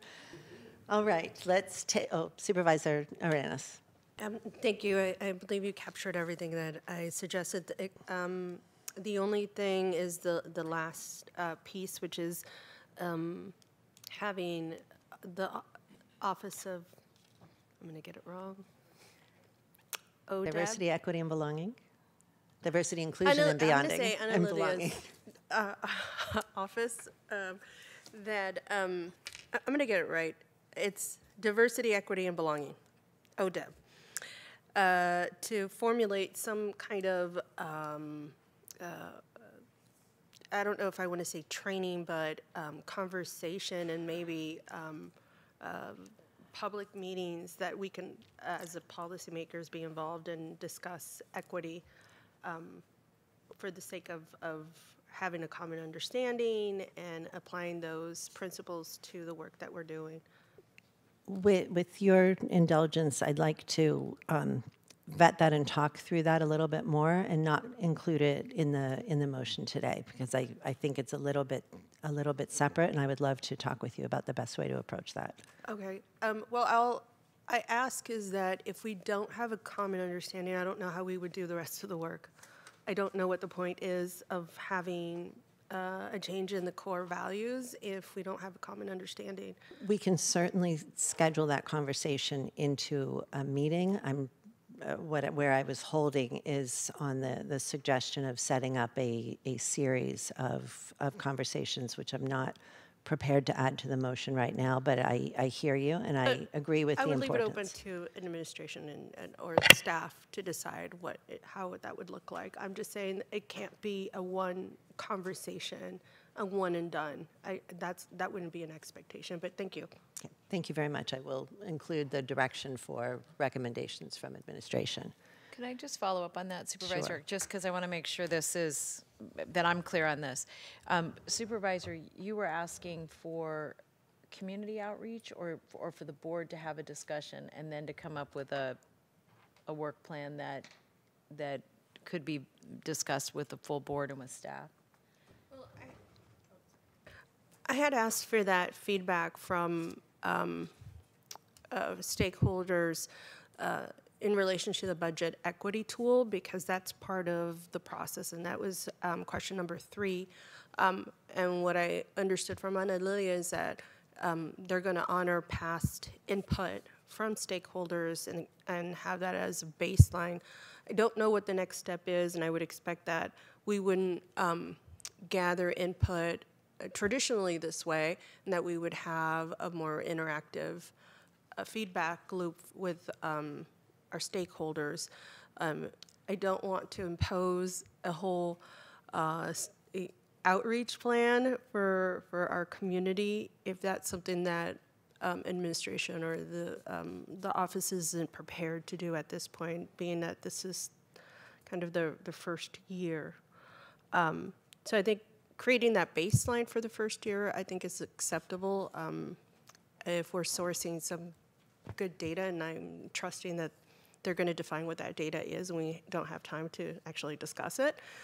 Um, but I think we could provide um, direction for the following year um, or the following step. So I, if I could, I want to just decouple the, because I think the, previously, um, you made another comment just about the board's understanding of this. Right, those are So two I- separate things, Yeah, so I want to decouple them for a moment and ask, I, I think you all come through Children's Family Seniors Committee. Is that correct? Yes, okay, Greta, thank you. Um, I apologize, without my glasses, if you were nodding, I didn't see it, so I apologize. Okay, better. Um, What I, what we can do, um, what I will recommend is that when this comes back to the committee, that we have a more robust discussion about exactly what you're talking about, so that we have an understanding of what, what that baseline means, what would the next phases of outreach be, because I, I feel like we need to dive into that a bit more, because I, I hear what you're saying, and I, I'd like to better understand kind of where the staff is in, in process, which is partly why I was asking a little bit about the tool, but, but why don't, we'll, we'll agendize it for committee if that's comfortable with everybody as a next step. Yeah, that makes Okay. sense, and I think that would be helpful, because I was just gonna say one thing which, um, and Ana Lilia, you can correct me if I'm wrong, but I think partly what is complex about this is for different, when we're talking about budget, different budget requests, the community of input would be different. So I'll just give a concrete example. If the probation department is saying we need more resources because kids in custody are giving feedback that they want access to this sort of programming, that would be the community feedback loop for that specific budget request. Of course, for other budget requests, it would be a much more robust and broad sweeping community input prod- product that would be pertinent. And I think that's the kind of thing that we might be able to flesh out in that Right, and it committee may actually even be a precursor to that, which is just the basics under what terms and conditions, blah, blah, blah. I mean, that's, that's what I don't understand and why I think it would be good if we just put it in committee and kind of drill down. Perfect. All right, great. And Thank so you. if that can be part of the motion that it goes to our committee, it would be great. Happy to send it to your committee. Thank you. All right. Uh, We're going to take a vote, and then I'm going to ask everyone to hang on uh, respectfully for the final public comment, and then we'll adjourn. Supervisor Arenas? Yes. Supervisor Chavez? Yes. Supervisor Simitian? Aye. Vice President Lee? Aye. President Ellenberg? Yes. Vote passes unanimously. Thank you. Thank you very much. Do we have uh, speakers in person or on uh, We do. We have one speaker in person and one virtually.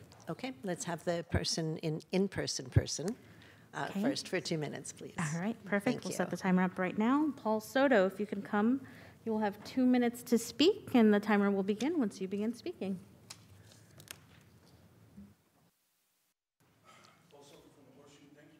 Accommodation, uh, Supervisor uh, Ellenberg, I didn't want to think that this conversation could be had without the public input. Also, I want to extend my gratitude to uh, Supervisor Arenas. Um, Exactly what it is that we voted you in to do, um, you displayed that today, so I just want to say thank you. Um, the Chicano movement, the lowrider movement, and the farm workers movement, we have a copious amount, body of evidence as to why equity is so important. Because the Chicano movement, the lowrider movement, and the farm workers movement was the response to the inequity by which the Chicano community specifically was experiencing, not the immigrant community, but the Chicano community.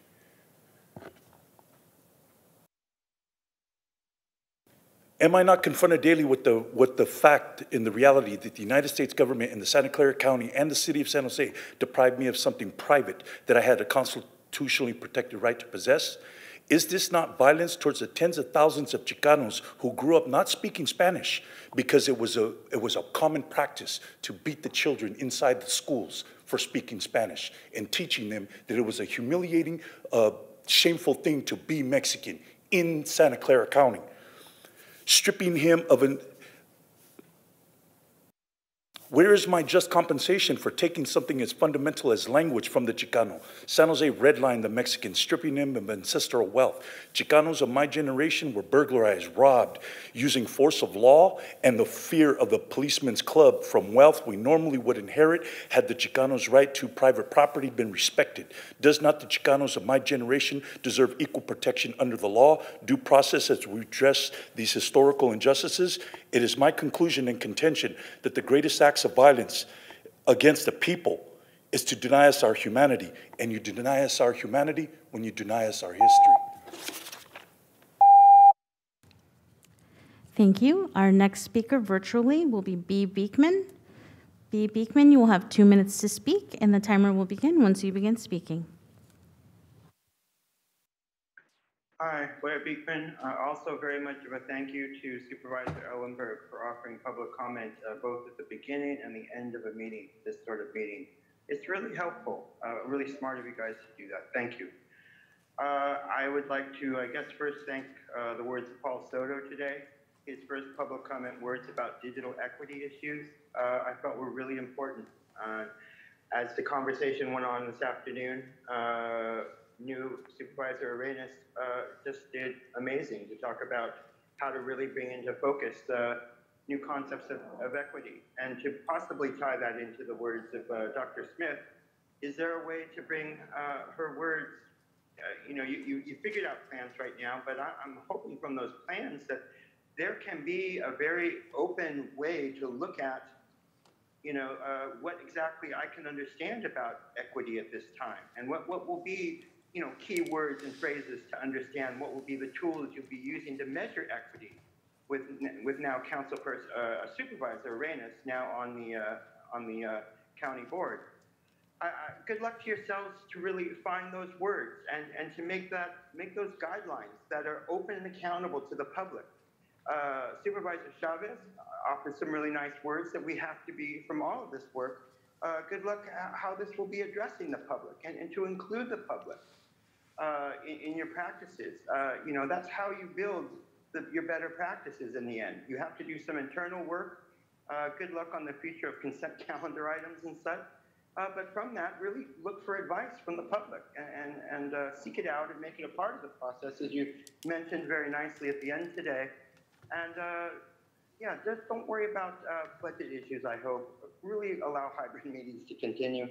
I think it's important. We can work through the budget concerns and, and things I've mentioned, we all mentioned earlier, we're all concerned about. Thank you. And that concludes public comment. Thank you very much. And that includes uh, what I found, and hope you agree, to have been several hours of really fascinating and growthful conversation. So thank, thank you to my colleagues, thank you to administration, clerks, and all of the staff that helped prepare us for today. And let the record show that we finished before five. It's 4:56. Thank you. You're welcome. The meetings can go longer after daylight savings time. That's right.